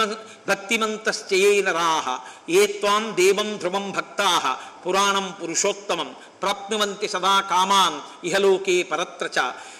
ఇమమార్షం స్తవం నిత్యం ఇతిహాసం పురాతనం ఏ నరాహ కీర్తియిష్యంతి నాస్తి తేషాం పరాభవ అని చతుర్ముఖ బ్రహ్మగారు ఆ రోజున రామచంద్రమూర్తిని స్తోత్రం చేశారు. మహానుభావ నువ్వు సాక్షాత్తుగా ఇవాళ కాకుత్సవంశంలో జన్మించినటువంటి నరుడవైన రాముడిగా కనపడుతున్నా నువ్వే ఆదిమధ్యాంతరహితుడవైనటువంటి శ్రీమన్నారాయణుడు శంఖచక్ర గదాపద్మములను పట్టుకునేటటువంటి వాడివి. శాంగమనేటటువంటి ధనస్సుని కౌమోదకి అనబడేటటువంటి గదని పట్టుకుంటావు. అటువంటి వాడివి నందకమనబడేటటువంటి ఖడ్గము నీ యొక్క ఆయుధము. అన్ని వేపులా సైన్యము కలిగిన వాడివి కాబట్టి విశ్వక్సేనుడు అని నీకు ఒక పేరు ఉంది. సమస్త ప్రాణికోటిలో నీవు లయమై ఉంటావు. నీవే ఉండి అనేకమైన నామరూపాలుగా కనపడుతుంటావు. ఇంద్రుని శ్రై ఇంద్రుని సైతము సృజించేటటువంటి వాడివి. నీ నాభిపద్మంలోంచే చతుర్ముఖ బ్రహ్మనైన నేను సృజింపబడ్డాను. నీవే యజ్ఞస్వరూపం నీవే వషత్కారం నీవే ఓంకారం నీవే గోస్వరూపం. ఈ గగనము ఈ దిక్కులు అన్నీ కూడా నీ చేత పరివ్యాప్తమై ఉన్నాయి. నీవే అనేక నామములతో అనేక పర్వతములుగా భూమిగా అనేకముగా ఇక్కడ ప్రవర్తిల్లి ఉన్నావు. నేను నీ యొక్క హృదయాన్ని అంటే బ్రహ్మగారు నేను నీ హృదయాన్ని నా భార్య అయిన సరస్వతి నీ యొక్క జిహ్వ దేవతలందరూ నీ రోమములు. ఇది స్వయముగా నీ శరీరముగా చూసినప్పుడు సాకారముగా నువ్వు అది నీ యొక్క స్థితి. అటువంటి వాడివి. నీ ఉచ్ఛ్వాస నిశ్వాసలే వేదముగా ఉంటాయి. నీవు కన్ను మూస్తే రాత్రి నువ్వు కన్ను తెరిస్తే పగలు. అటువంటి నువ్వు శ్రీవత్సము అనేటటువంటి చిహ్నము కలిగినటువంటి శ్రీమన్నారాయణుడు బలిచక్రవర్తిని అదుపు చేసి ఈ భూమినంతటిని ఇంద్రుడికి దా దానము చేసినటువంటి ఉపేంద్రుడవు. లోకకంటకుడైన రావణుణ్ణి వధించడానికి ఈ భూమండలంలో రామచంద్రమూర్తిగా దశరథ మహారాజు గారి యొక్క కుమారుడిగా అవతరించిన వాడివి. సాక్షాత్ శ్రీ మహాలక్ష్మియే సీతమ్మ. ఆమెయే సీతమ్మగా అవతరించింది. నీ తేజో బలపరాక్రమములు అమోఘములు. ఇవాళ నీ యొక్క యథార్థ స్వరూపం గురించి నేను చేసినటువంటి ఈ స్తోత్రం ఏదుందో ఆ స్తోత్రాన్ని ప్రతినిత్యము ఎవరు చదువుతారో అటువంటి వారికి పునర్జన్మ ఉండదు. వారు మోక్షాన్ని పొందుతారు కైవల్యాన్ని పొందుతారు. ఇది శాశ్వతమైనది. దీని వలన జీవులకు సమస్త పాపము ధ్వంసమవుతుంది. ఇది అంత గొప్ప స్తోత్రమని చతుర్ముఖ బ్రహ్మగారు రామచంద్రమూర్తి యొక్క యథార్థమైన స్థితిని ఆవిష్కరిస్తూ స్తోత్రం చేశారు. అయినా రాముడు మాత్రం మనుష్యుడుగానే నిలబడ్డాడు. అప్పుడు అగ్నిదేవుడు అగ్నిహోత్ర సీతమ్మ తల్లి ప్రవేశించినటువంటి చితిగుండంలోంచి బయటికి వచ్చి అబ్రవీచ్చ తదా రామం సాక్షీ లోకస్య పావక ఏషాతే రామ వైదేహి పాపమస్యాన్న విద్యతే నాయన రామ ఈ తల్లి సీతమ్మకి ఏ పాపము అంటనిది. త్రికరణ శుద్ధిగా ఈ తల్లి నిరంతరము నిన్ను మాత్రమే సేవించినది. ప్రలోభ్యమానా వివిధం భర్తృమానా చ మైథిలి నా చింతయత నా- చింతయత తద్రక్ష త్వద్గతేనాంతరాత్మన విశుద్ధ భావాం నిష్పాపాం ప్రతి గృహీశ్వరాఘవ నకించిదభిధాతవ్యం అహం ఆజ్ఞాపయామి తే దధ్యో ముహూర్తం ధర్మాత్మ భాష్ప వ్యాకులోచన అప్పుడు అగ్నిహోత్రుడు అన్నాడు ఎన్ని రకాలుగా రావణుడు ప్రలోభ పెట్టాలో అన్ని రకాలుగా ప్రలోభ పెట్టినా ఈమె మాత్రం తన మనసుని నీయందు మాత్రమే నిలబెట్టుకున్నటువంటి తల్లి ఉత్తమమైనటువంటి చారిత్రము కలిగినటువంటిది. ఎన్నడూ ఏ దోషము ఎరుగనిది. ఇటువంటి సీతమ్మ తల్లిని అతిక్రమించి నీవు మాట్లాడకూడదు. కాబట్టి ఈ సీతమ్మని నువ్వు స్వీకరించవలసింది ఇది నా ఆజ్ఞ అన్నారు. అప్పుడు రాముడు సీతమ్మ వంక చూశాట ఇలా చూడగానే దధ్యో ముహూర్తం ధర్మాత్మ భాష్ప వ్యాకులు వ్యాకులలోచన. ఇలా చూడగానే ఆయన కన్నుల వెంట బడబడ బడబడా నీళ్ళు కారిపోయేట. సీత నువ్వు ఇటువంటి దానివని తెలిసి కూడా లోకానికి నువ్వు ఇటువంటి దానివని నిరూపించడానికి ఎంత పెద్ద మాట అనవలసి వచ్చిందో అని బాధతో వలవలా ఏడ్చేట. ఏడ్చి రాముడు అగ్నిహోత్రుడితో అన్నాడు అవశ్యం త్రిషు లోకేషు నసీతా పాపమర్హతి దీర్ఘకాలోషితాహీయం రావణంతపురే శుభ. నాకు తెలుసు సీతమ్మ తల్లి ఎందు ఏ దోషము లేదు అన్న విషయం నాకు స్పష్టంగా తెలుసు. రావణాంతపురం కాదు ఎక్కడ ఉన్నా సీతమ్మ సీతమ్మే. బాలిశక్కలు కామాత్మ రామో దశరథత్మజ ఇది వచ్చంతి మాంసంతో జానకీం అవిశోధ్యహి. నేను కాని సీతమ్మ తల్లి యొక్క వైభవాన్ని ప్రకటింపచేసే అవకాశం ఇవ్వకపోతే రేపొద్దున్న లోకమంతా ఏమంటుందంటే బాలిష ఖలు కామాత్మ జ్ఞానము లేనివాడు రాముడు కాముకుడు. అందుకని పది నెలలు ఆ రావణుడి కొలువుకూటంలో ఉన్నటువంటి సీతమ్మని ఏలుకున్నాడని నన్ను నింద వేస్తుంది. ఆ మాట నన్నని సీతమ్మని నింద చేస్తే నేను సీతమ్మ తల్లి గురించి ఆ మాటలు వినలేను కనుక ఆవిడ వైభవాన్ని ప్రకటింప చేయడానికి ఇంత క్రూరంగా ప్రవర్తించాను తప్ప సీతమ్మ తల్లి పట్ల నాకు కించిత్తు కూడా అన్యమైనటువంటి అభిప్రాయం లేదు. అనన్య హృదయాం భక్తాం మచ్చిత్త పరివర్తినీం ఆహమప్యవగచ్చామి మైథిలీం జనకాత్మజాం. ఈ జనకుని కూతురైనటువంటి మైథిలి యొక్క మనస్సు నిరంతరము నాయందే ఉంటుందని నన్ను అనుసరించి ఉంటుందని నాకు స్పష్టంగా తెలుసు. అని విశుద్ధాత్రిశులోకేషు మైథిలీ జనకాత్మజ నహి హాతుం ఇయం శక్య కీర్తిరత్మవతాయథ మంచి ప్రవర్తన కలిగినటువంటి వ్యక్తికి కీర్తి నీడలా అనుసరిస్తుంది. ఒక వ్యక్తి తన కీర్తిని విడిచిపెట్టేయి అంటే విడిచిపెడతాడా? తన కీర్తిని తాను ఎలా విడిచిపెట్టలేడో ఈ సీతమ్మని విడిచిపెట్టడం కూడా అలాగే సంభవం కాదు. ఈమెని విడిచిపెట్టి నేను ఒక్క క్షణం బ్రతకలేను. నాకు సీతమ్మ పట్ల ఉన్న అభిప్రాయం అది అని ఆమెని స్వీకరించి తన తొడ మీద కూర్చోపెట్టుకున్నారు. ఆ తదనంతరము దేవతలందరూ అక్కడికి వచ్చి నిలబడ్డారు. నిలబడిన తరువాత పరమేశ్వరుడు గ్రహించాడు పరమశివుడు. మ- మనుష్యుడిగా ఇక్కడ పుట్టి పదకొండు వేల సంవత్సరములు ఈ భూమండలం మీద ఉంటానన్నాడు. కాబట్టి ఇంకా పదివేల సంవత్సరములు రాజ్యం ఏలాలి. ఏలితే తప్ప శరీరాన్ని విడిచిపెట్టి రాడు. కాబట్టి ఈయన తన ప్రతిజ్ఞ నెరవేర్చుకునే అవకాశం ఇవ్వాలి అనుకున్నాడు. పరమశివుడు అన్నాడు ఆశ్వాస్య భరతం దీనం కౌసల్యాంచ యశస్వినీం కైకీయించ సుమిత్రాంచ దృష్ట్వా లక్ష్మణమాతరం ప్రాప్య రాజ్యం అయోధ్యాయాం నందయిత్వా సుహృజ్జనం ఇక్ష్వాకూణాం కులే వంశం స్థాపయిత్వా మహాబల ఇష్టాతురగమేధేన ప్రాప్యచానుత్తమం యశ బ్రాహ్మణేభ్యో ధనం దత్వా త్రిదివం గంతుమర్హసి. నాయన రామ నీవు ఇంత కష్టపడి రావణ సంహారం చేశావు. అక్కడ కౌసల్య సుమిత్ర కైకేయి పరితపిస్తుంటారు. భరతుడు నీ గురించి పరితపిస్తుంటాడు. పద్నాలుగు సంవత్సరాలు పూర్తయ్యాక రాకపోతే ప్రాయోపవేశం చేస్తానని ప్రతిజ్ఞ చేసి ఉన్నాడు. కాబట్టి నువ్వు అయోధ్యకి వెళ్ళు. నీ తల్లుల్ని సేద తీర్చు. భరతుణ్ణి సేద తీర్చు. పట్టం కట్టుకో. పదివేల సంవత్సరములు రాజ్యపాలన చెయ్యి అశ్వమేధాది యాగములను ఎన్నో యాగములను చెయ్యి ధర్మం ధర్మమన్న మాటకి పర్యాయపదంగా నీ యొక్క నడుబడి ఉంటుంది. అటువంటి వాడివి బ్రాహ్మణులకు కావలసినంత ధనాన్ని దానం చేస్తావు. చిట్ట చివర పదకొండు వేల సంవత్సరములు పూర్తయిన తరువాత నువ్వు మళ్ళీ నీ యథాలోకాన్ని చేరుకుంటావు. ఒక మనుష్యుడు తన ధర్మాన్ని ఎలా నిర్వర్తిస్తాడో తన పితృరుణాన్ని ఎలా తీర్చుకుంటాడో అలా ఇక్ష్వాకు వంశాభివృద్ధికి నువ్వు కొడుకుల్ని కూడా కను. కన్న తరువాత పదకొండు వేల సంవత్సరములు పూర్తయిన తరువాత తిరిగి నీ యొక్క లోకానికి నువ్వు వద్దువుగానివి అదిగో నీ చారిత్రమునకు మురిసిపోయినటువంటి నీ తండ్రి స్వర్గలోకం నుంచి ఇంద్రుడి యొక్క విమానంలో వచ్చి ఉన్నాడు. నువ్వు వెళ్ళి చూడవలసింది అన్నారు. ఏషరాజా విమానస్థ పితా దశరథస్తవ కాకుత్సవానుషేలోకే గురుస్తవ మహాయశా ఇంద్రలోకంగత శ్రీమాన్ తయా పుత్రేణ తారిత లక్ష్మణేన సహ భ్రాత్ర తమేనం అభివాదయ మహ మహాదేవ వచశ్రుత్వా కాకుత్స సహ లక్ష్మణ విమానశిఖరస్తస్య ప్రణామం అకరోత్పితు. ఆయన వెంటనే ఆ విమానంలో కూర్చుని ఉన్నటువంటి దశరథ మహారాజు గారికి లక్ష్మణ సహితుడై సీతమ్మతో కలిసి నమస్కరించాడు. వెంటనే దశరథ మహారాజు గారు రామచంద్రమూర్తిని తన తొడ మీద కూర్చోబెట్టుకుని సంతోషంతో చెయ్యి వేసి దగ్గరికి తీసుకుని నాయనా నీలాంటి కొడుకు పుట్టినందుకు నేను ఇవాళ ఊర్ధలోకాలు పొందాను సత్యంలో నిలబడ్డాను అన్న ప్రతిష్ట పొందాను. స్వర్గలోకంలో ఉన్నాను ఇంద్రుడి యొక్క విమానంలో నిన్ను చూడ్డానికి వచ్చాను నేను నీకు పట్టాభిషేకం చేసి రాజ్యం ఇవ్వాలనుకున్నాను. కానీ పట్టాభిషేకం భగ్నమైపోయిందని బెంగ పెట్టుకుని పద్నాలుగేళ్ళు నిన్ను చూడకుండా ఉండలేను అని ప్రాణం వదిలిపెట్టాను. ఊర్ధలోకాలకి వెళ్ళాక నాతో దేవతలు చెప్పారు ఇదానీంతు విజానామి యథాసౌమ్య సురేశ్వరై వదార్థం రావణస్యేదం విహితం పురుషోత్తమ. రావణవధ కొరకే పట్టాభిషేకాన్ని భగ్నం చేయడానికి దేవతలు మన్మధర ఆ మందరని ప్రయోగించారు. కాబట్టి నాయనా రామ నువ్వు వెళ్ళి చక్కగా పట్టాభిషేకం చేసుకుని రాజ్య పరిపాలన చెయ్యి నీ తల్లులు ఊరడిల్లుతారు. అన్న తర్వాత రామచంద్రమూర్తి దశరథ మహారాజు గారిని ఒక వరం అడిగాడు.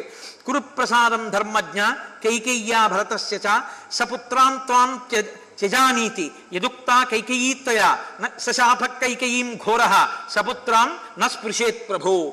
నీవు ఒకనొకప్పుడు నాకు రాజ్యం ఇవ్వకుండా కైకేయి అడ్డుపడిందన్న ఆగ్రహావేశంలో ఒక మాటన్న ఒక శాపవాక్కుని విడిచిపెట్టావు. ఈనాటి నుంచి కైకమ్మ కానీ భరతుడు కానీ నాకు భార్య కుమారులు కాకుండా పోతారన్నావు. ఆ శాపవాక్కుని ఉపసంహారం చేయి కైకమ్మ నీకు భార్యయే మాకు తల్లియే. భరతుడు నీకు కుమారుడే నాకు తమ్ముడే. తండ్రి అది అనుగ్రహించమన్నారు. అది రాముడి ధర్మం అంటే.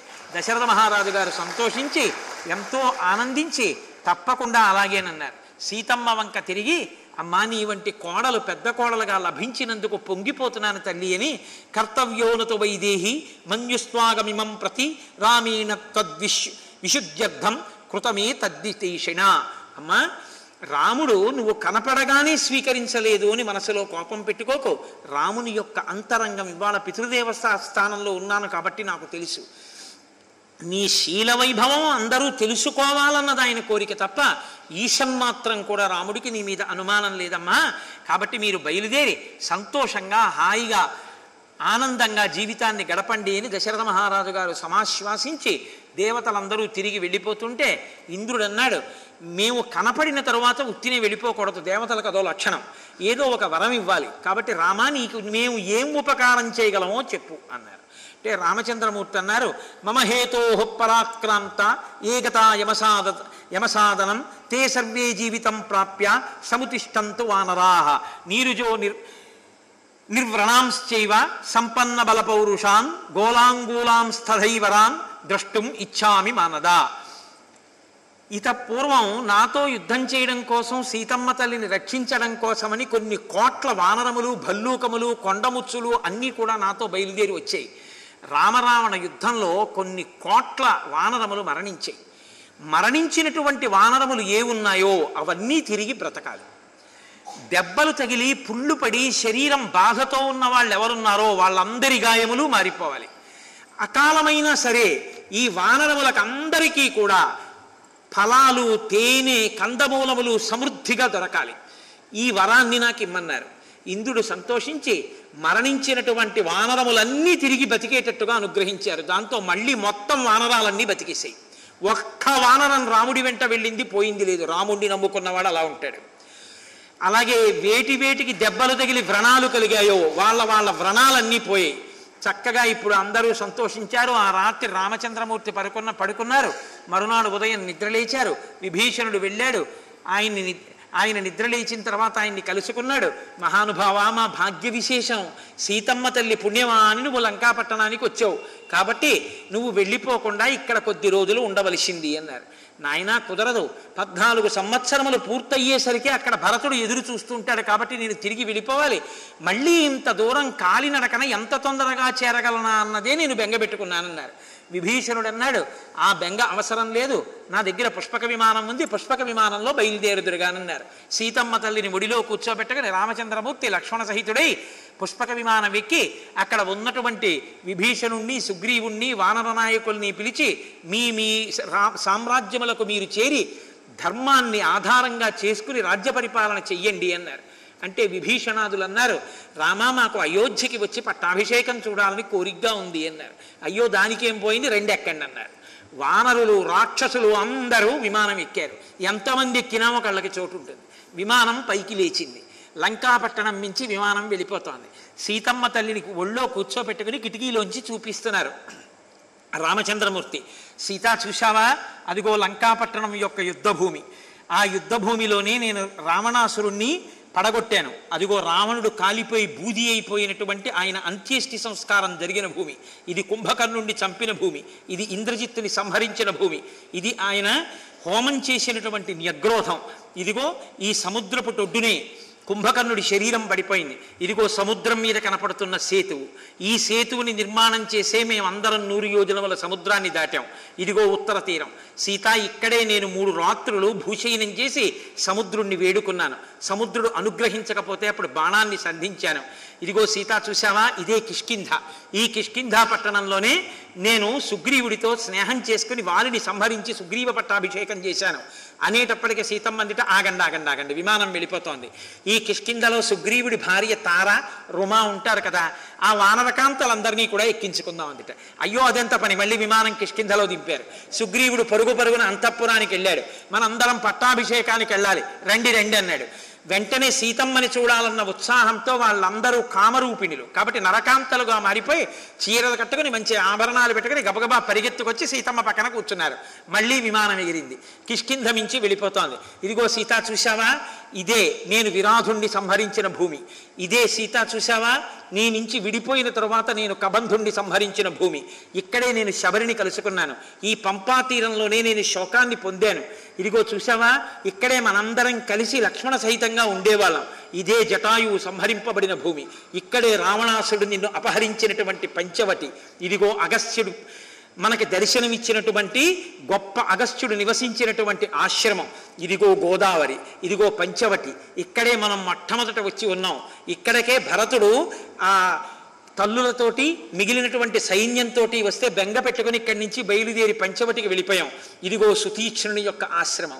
సీత ఇదిగో ఇది దాటిన తర్వాత భారద్వాజాశ్రమం. మొట్టమొదట మనం ఈ భారద్వాజాశ్రమానికే వెళ్ళాం. అనేసరికి ఒక్కసారి భారద్వాజాశ్రమంలో విమానాన్ని దింపారు. దింపి లోపలికి వెళ్ళారు. ఆయన దర్శనం చేసుకున్నారు. వెంటనే ఆయన చూడకుండానే చదివేశాడు. రామా నాకు అన్నీ తెలుసు. పంచవటి చేరావు. సీతాపహరణం జరిగింది. బెంగ పెట్టుకున్నావు. చాలా కష్టపడ్డావు. సుగ్రీవుడితో స్నేహం చేశావు. వాలిని చంపావు. సుగ్రీవుడికి పట్టాభిషేకం చేశావు. హనుమ సీతమ్మ జాడ కనిపెట్టారు. వానర సైన్యంతో బయలుదేరావు. సముద్రానికి సేతువు కట్టావు. కాంచనలంక చేసే చేరావు. రాక్షస సంహారం చేశావు.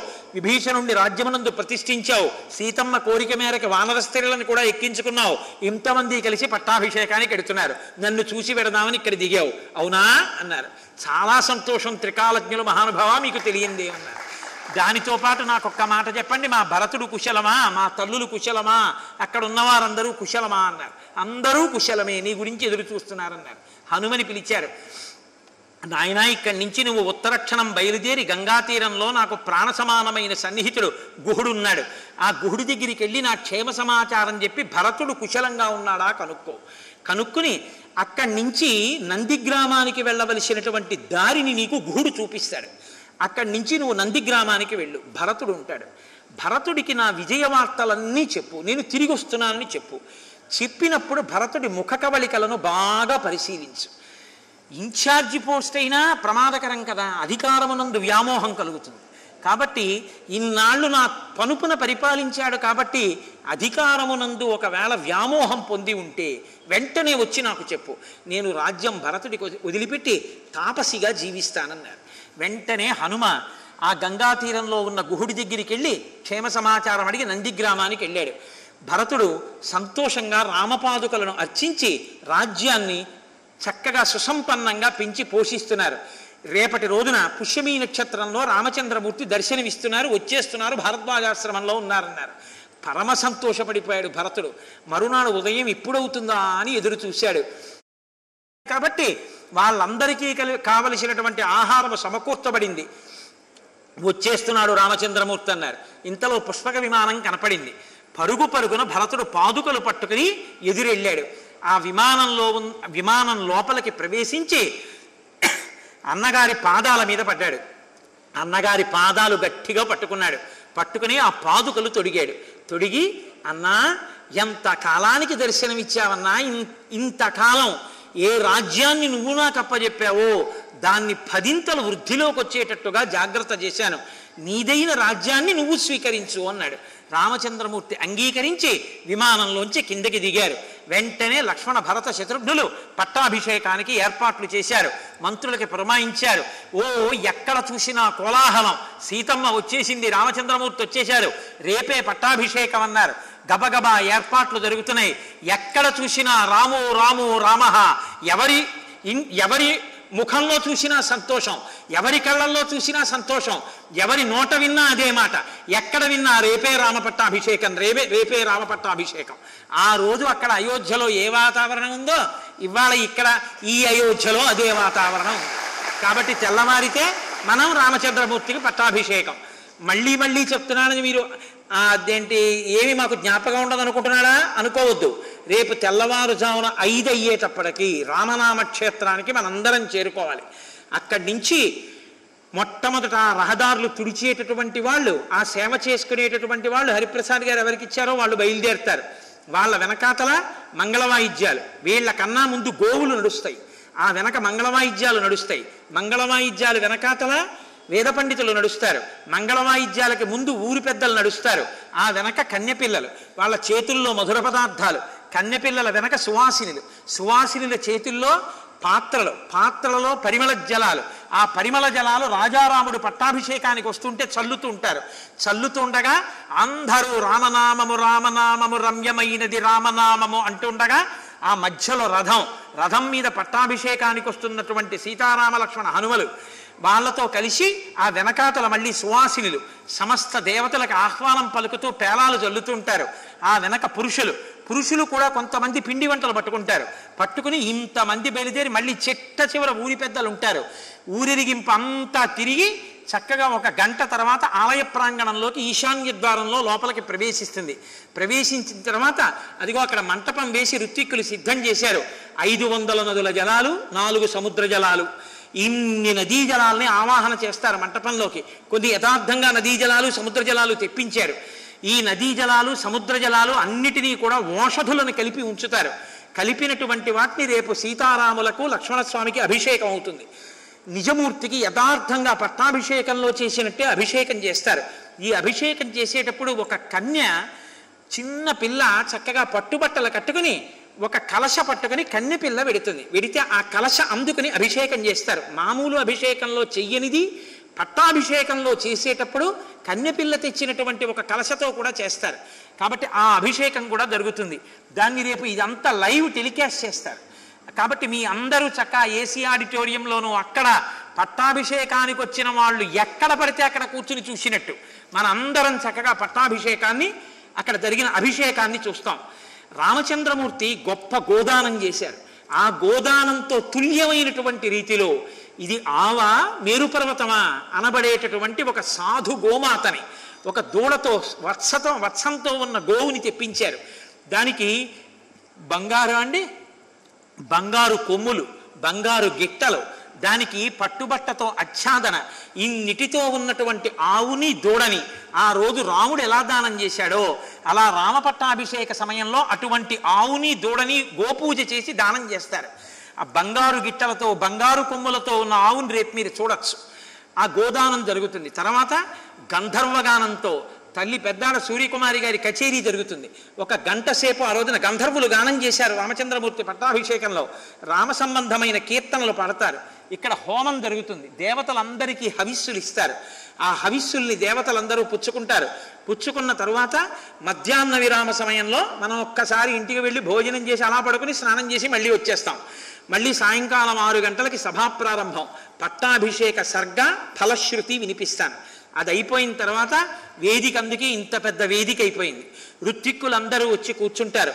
స్వామివారికి రేపు పట్టాభిషేక సర్గ చెప్పేటప్పుడే నాలుగు బంగారు కిరీటాలు చేయించారు.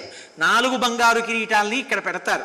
మకుటధారణ సర్గ అని రేపు మీ అందరితోటి ఆ సర్గ చెప్పినప్పుడు అందులో శ్లోకాలు చెప్పిస్తారు. అది పట్టాభిషేకంలో శ్రీరామనవమి నాడు కూడా అవి చెప్పాలి ఆ శ్లోకాలు అని. కాబట్టి రేపు కిరీటాలు ఇక్కడ పెట్టి అందరూ చూస్తుండగా వాటికి సంప్రోక్షణ చేసి ఆ శ్లోకాలు చెప్పిస్తాం. చెప్పించిన తర్వాత ఈ ప్రవచనం అయిపోగానే ప్రవచనం రేపు ఎక్కువసేపు ఉండదు ఒక అర ఒక నలభై ఐదు నిమిషాలు గంట సేపు. అయిపోగానే రామచంద్రమూర్తికి లక్ష్మణస్వామికి హనుమకి సీతమ్మకి సంప్రో చిన్న అభిషేకంగా జలములను సంప్రోక్షించి అప్పుడు నిజాభిషేకం పొద్దున్న అయిపోతుంది కాబట్టి పూర్వాభిషేకం సాయంకాలం ఆ రాత్రి వేళ స్వామికి కిరీట ధారణ చేయిస్తారు. తర్వాత ఆయనకి చేతికి రాజదండాన్ని ఇస్తారు. ఆ తర్వాత బంగారు పాదుకలు తీసుకెళ్ళి ఆయన కాళ్ళకి తొడుగుతారు. ఆ తర్వాత రామచంద్రమూర్తికి వజ్రవైఢూర్యములతో కూడినటువంటి పథకాన్ని బహూకరిస్తున్నారు. లక్ష్మణస్వామికి కెంపులతో కూడినటువంటి పథకం మా అమ్మ సీతమ్మ తల్లికి పచ్చల పథకం మా స్వామి హనుమకి ముత్యాల హారం వైఢూర్య పథకం ఇవన్నీ సిద్ధం చేశారు. ఇవన్నీ రేపు యథార్థంగా పట్టాభిషేకంలో ఎలా ఇస్తారో అలా ఇవన్నీ కూడా మీకు చూపించి లైవ్ స్క్రీన్స్ మీదకి టెలికాస్ట్ చేశాక ఇవన్నీ స్వామికి బహూకరణ జరుగుతాయి. జరిగిన తర్వాత పట్టాభిషిక్తుడైనటువంటి రామచంద్రమూర్తి సమక్షంలో ఆయనకి పూజ జరుగుతుంది. ఆ పూజ అవగానే దర్బార్ జరుగుతుంది. ఆ రోజున అయోధ్యలో కూర్చుని ఎలా చూశామో అలా చిత్రంగా రాజదండం పట్టుకుని కూర్చున్నటువంటి రామచంద్రమూర్తి దగ్గర ఆయనకి నిజంగా గీతం శ్రావయామి అంటే గీతం పాడతారు. నృత్యం దర్శయామి ఇక్కడ నాట్యం చేసి చూపిస్తారు స్వామికి. అలాగే వాద్యం ఘోషయామి వీణ మీద ఆయనకి సంగీతం వినిపిస్తారు. అలాగే అశ్వాన్నారోహయామి ఇత పూర్వం వాడినది కాదు. వెండితో ఇంత పెద్ద గుర్రం చేయించారు. ఆ గుర్రం తీసుకొస్తారు. అలాగే గజాన్నారోహయామి ఇంత పెద్ద ఏనుగు చేయించారు. ఆ ఏనుగు తీసుకొస్తారు. అలాగే రేపు ఆందోళికాన్ సమర్పయామి అన్నప్పుడు ఒక ఊయలు తీసుకొచ్చి ఇక్కడ పెట్టి సీతారాముల్ని అందులో కూర్చోబెట్టి ఊపుతూ ఒక కీర్తన చేస్తారు. అలాగే స్వామికి అందులో కూర్చోబెట్టి చక్కగా గంధం అది అలదుతూ చామరం వేస్తూ ఊపుతున్నప్పుడు ఒక కీర్తన జరుగుతుంటే ఊంజల్ సేవ జరుగుతుంది. ఇవన్నీ అయిన తర్వాత రామచంద్రమూర్తి యొక్క పట్టాభిషేకం పూర్తవుతుంది. పూర్తయిపోయిన తర్వాత మనం చక్కగా రాజారాముండి దర్శనం చేసుకుని మరునాడు పట్టాభిషేక భోజనాన్ని అందరం కలిసి ఇన్ని వేల మంది అయినా సరే షడ్రశోపేతమైనటువంటి భోజనాన్ని ఏర్పాటు చేస్తున్నారు. ఆ భోజనాన్ని చేస్తాం. కాబట్టి ఇంకా మనం చెప్పవలసింది ఒక్కటే ఇంకా తెల్లవారదేమి ఈ చీకటి విడిపోదేమి అన్నది తొందరగా తెల్లవారితే మనందరం పట్టాభిషేకంలో ఊరిరిగింపుగా వచ్చి ఆ వైభవాన్ని కన్నులతో జుర్రుకునేటటువంటి సమయం చాలా దగ్గరలోకి వచ్చేసింది. రేపు ఈ క్రతువుకి క్రతువులో పాల్గొని మీ అందరూ కూడా ధన్యులు కావలసిందిగా కార్యవర్గం తరపున పీఠం తరపున మిమ్మల్ని అందరినీ స్వతంత్రించి నేనే ఆహ్వానం పలుకుతున్నాను. కాబట్టి ఇప్పుడు చక్కా మనం పెట్టుకున్న సంప్రదాయాన్ని అనుసరించి ఒక్క పదకొండు మాటలు రామనామం చెప్దాం మీరు వెళ్ళిపోకండి. ఇవాళ మీకు చాలా గొప్ప గొప్ప వానర యోధుల గురించి మీరు విన్నారు. గయుడు గవాక్షుడు శరభుడు నీలుడు మైందుడు ద్వివిధుడు. హనుమ ఇటువంటి మహావీరులైనటువంటి వారిని వేదిక మీదకి పిలుస్తారు. మీకు ఆ వానర వీరుల్ని చూడాలనుంటే అలాగే ఉండండి చూద్దురు కానీ రామకార్యంలో సాయబడి ప్రాణములు ఒడ్డి పనిచి అహోరాత్రములు పనిచేసినటువంటి వానర వీరుల్ని వేదిక మీదకి పిలుస్తారు. మీరు ఆ వీరులందరినీ దర్శనం చేద్దరు కానీ పదకొండు మాటలు రామనామని చెప్దాం. నారదాది మహామునీంద్రులు నమ్మినది శ్రీరామనామము. రామనామము రమ్యమైన రామనామము. కోరి కొలచిన వారికెల్లను కొంగు బంగారు రామనామము. రామనామము రామనామము రమ్యమైనది రామనామము. ఆలు బిడ్డల సౌఖ్యము కన్నను అధికమైనది రామనామము. రామనామము రామనామము రమ్యమైనది రామనామము. నీవు నేనను భేదమేమియు లేకయున్నది రామనామము. రామనామము రామనామము రమ్యమైనది రామనామము. గోచరంబగు జగము లోపల గోప్యమైనది రామనామము. రామనామము రామనామము రమ్యమైనది రామనామము. బ్రహ్మ సత్యము జగన్మిథ్యాభావమే శ్రీరామనామము. రామనామము రామనామ రమ్యమైనది రామనామము. సాంఖ్యమిరిగడి తత్వ విధులకు సాధనము శ్రీరామనామము. రామనామము రామనామము రమ్యమైనది రామనామము. రాకడయు పోకడయు లేనిది రమ్యమైనది రామనామము. రామనామము రామనామము రమ్యమైనది రామనామము. కోటి జన్మల పాపమెల్లను రూపుమాపును రామనామము. రామనామము రామనామము రమ్యమైనది రామనామము. జానకీ హృత్కమల మందున అలరుచున్నది రామనామము. రామనామము రామనామము రమ్యమైనది రామనామము. బ్రహ్మపుత్రక రాజ్య వీణా పక్షమైనది రామనామము. రామనామము రామనామము రమ్యమైనది రామనామము. రావణానుజ హృదయ పంకజ రాచకీరము రామనామము. రామనామము రామనామము రమ్యమైనది రామనామము రామనామ. స్మరణ చేసిన క్షేమము సగును రామనామము. రామనామము రామనామము రమ్యమైనది రామనామము. తల్లివలె రక్షించు సుజనుల నెల్ల కాలము రామనామము. రామనామము రామనామము రమ్యమైనది రామనామము. రేపు ఒక్క విషయం జ్ఞాపకం పెట్టుకోండమ్మా. మీరు రామనామ క్షేత్రానికి వచ్చినప్పుడు ఎవరెక్కడ నిలబడాలి అన్నది కార్యకర్తలు అక్కడుండి మిమ్మల్ని పదిలంగా నించోపెట్టి సువాసినులకి ఇవ్వవలసిన మంగళద్రవ్యం మీరు పాత్ర తెచ్చుకోవాలి. మంగళద్రవ్యాన్ని పోస్తారు. కొంతమందికి పేలాలు ఇస్తారు. కన్నెపిల్లలందరినీ నించోపెట్టి వాళ్ళందరికీ మధుర పదార్థాలు పళ్ళాలు ఇస్తారు. చక్కగా మీరు ఆ వైభవాన్ని పురుషులకి కొంతమందికి మధుర పదార్థాలు ఇస్తారు. మనందరం చక్కగా బయలుదేరి సంతోషంగా రావచ్చు. కార్యకర్తలతో సహకరించండి ఒక్కటి దయచేసి జ్ఞాపకం పెట్టుకోండి. ఇది మనందరం చేసేటటువంటి కార్యం తప్ప ఒకరు చేస్తున్నది ఒకరి చేత మనం చేయి చేయింపబడుతున్నది అన్న భావన పెట్టుకోకండి. రామకార్యంలో మనందరం భాగస్వాములమే. అందరం ఆ సంతోషంతో ఆ ప్రీతితో పాల్గొనేటటువంటి స్పృహతో మీ అందరూ కూడా వస్తే మనం చక్కగా సంతోషంగా రేపటి ఊరిరిగింపు కార్యక్రమాన్ని అత్యంత శోభాయమానంగా మనం చేసుకుందాం.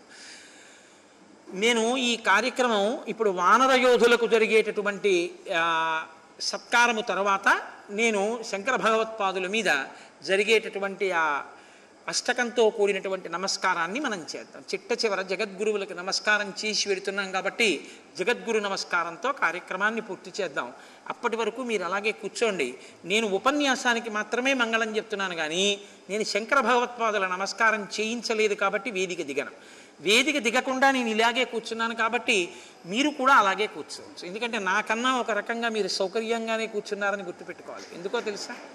మీరు కనీసం కాళ్ళు కావాలంటే కదపగలరు. నేను కూర్చున్న తర్వాత మళ్ళీ కాళ్ళు కదపడం అంటే లేస్తేనే. ఎందుకంటే నేను కదపాలంటే ఇది. ఏదో పెద్ద పెద్ద బంధనాల్లో ఇది. చేతులు కదుపుదామంటే ఇవి. అన్నాత్మనే చక్రవర్తి తనూజాయ సర్వభౌమాయ మంగళం. उमा कांताज कांताज कामितार्थ प्रदायिने श्रीगिरीशाय देवाज मलिनाधाज मंगलम करचरण कृतम वा कर्मवाक्कायजम वा श्रवणनैनजं वा पराधम। विहितम विहितम वा सर्वमेत्तक्षमस्व। शिव शिव करुणाब्धे श्री महादेव शंभो सर्वम श्री उमा महेश्वर उमामहेश्वरपरब्रह्मार्पणमस्तु स्वस्ति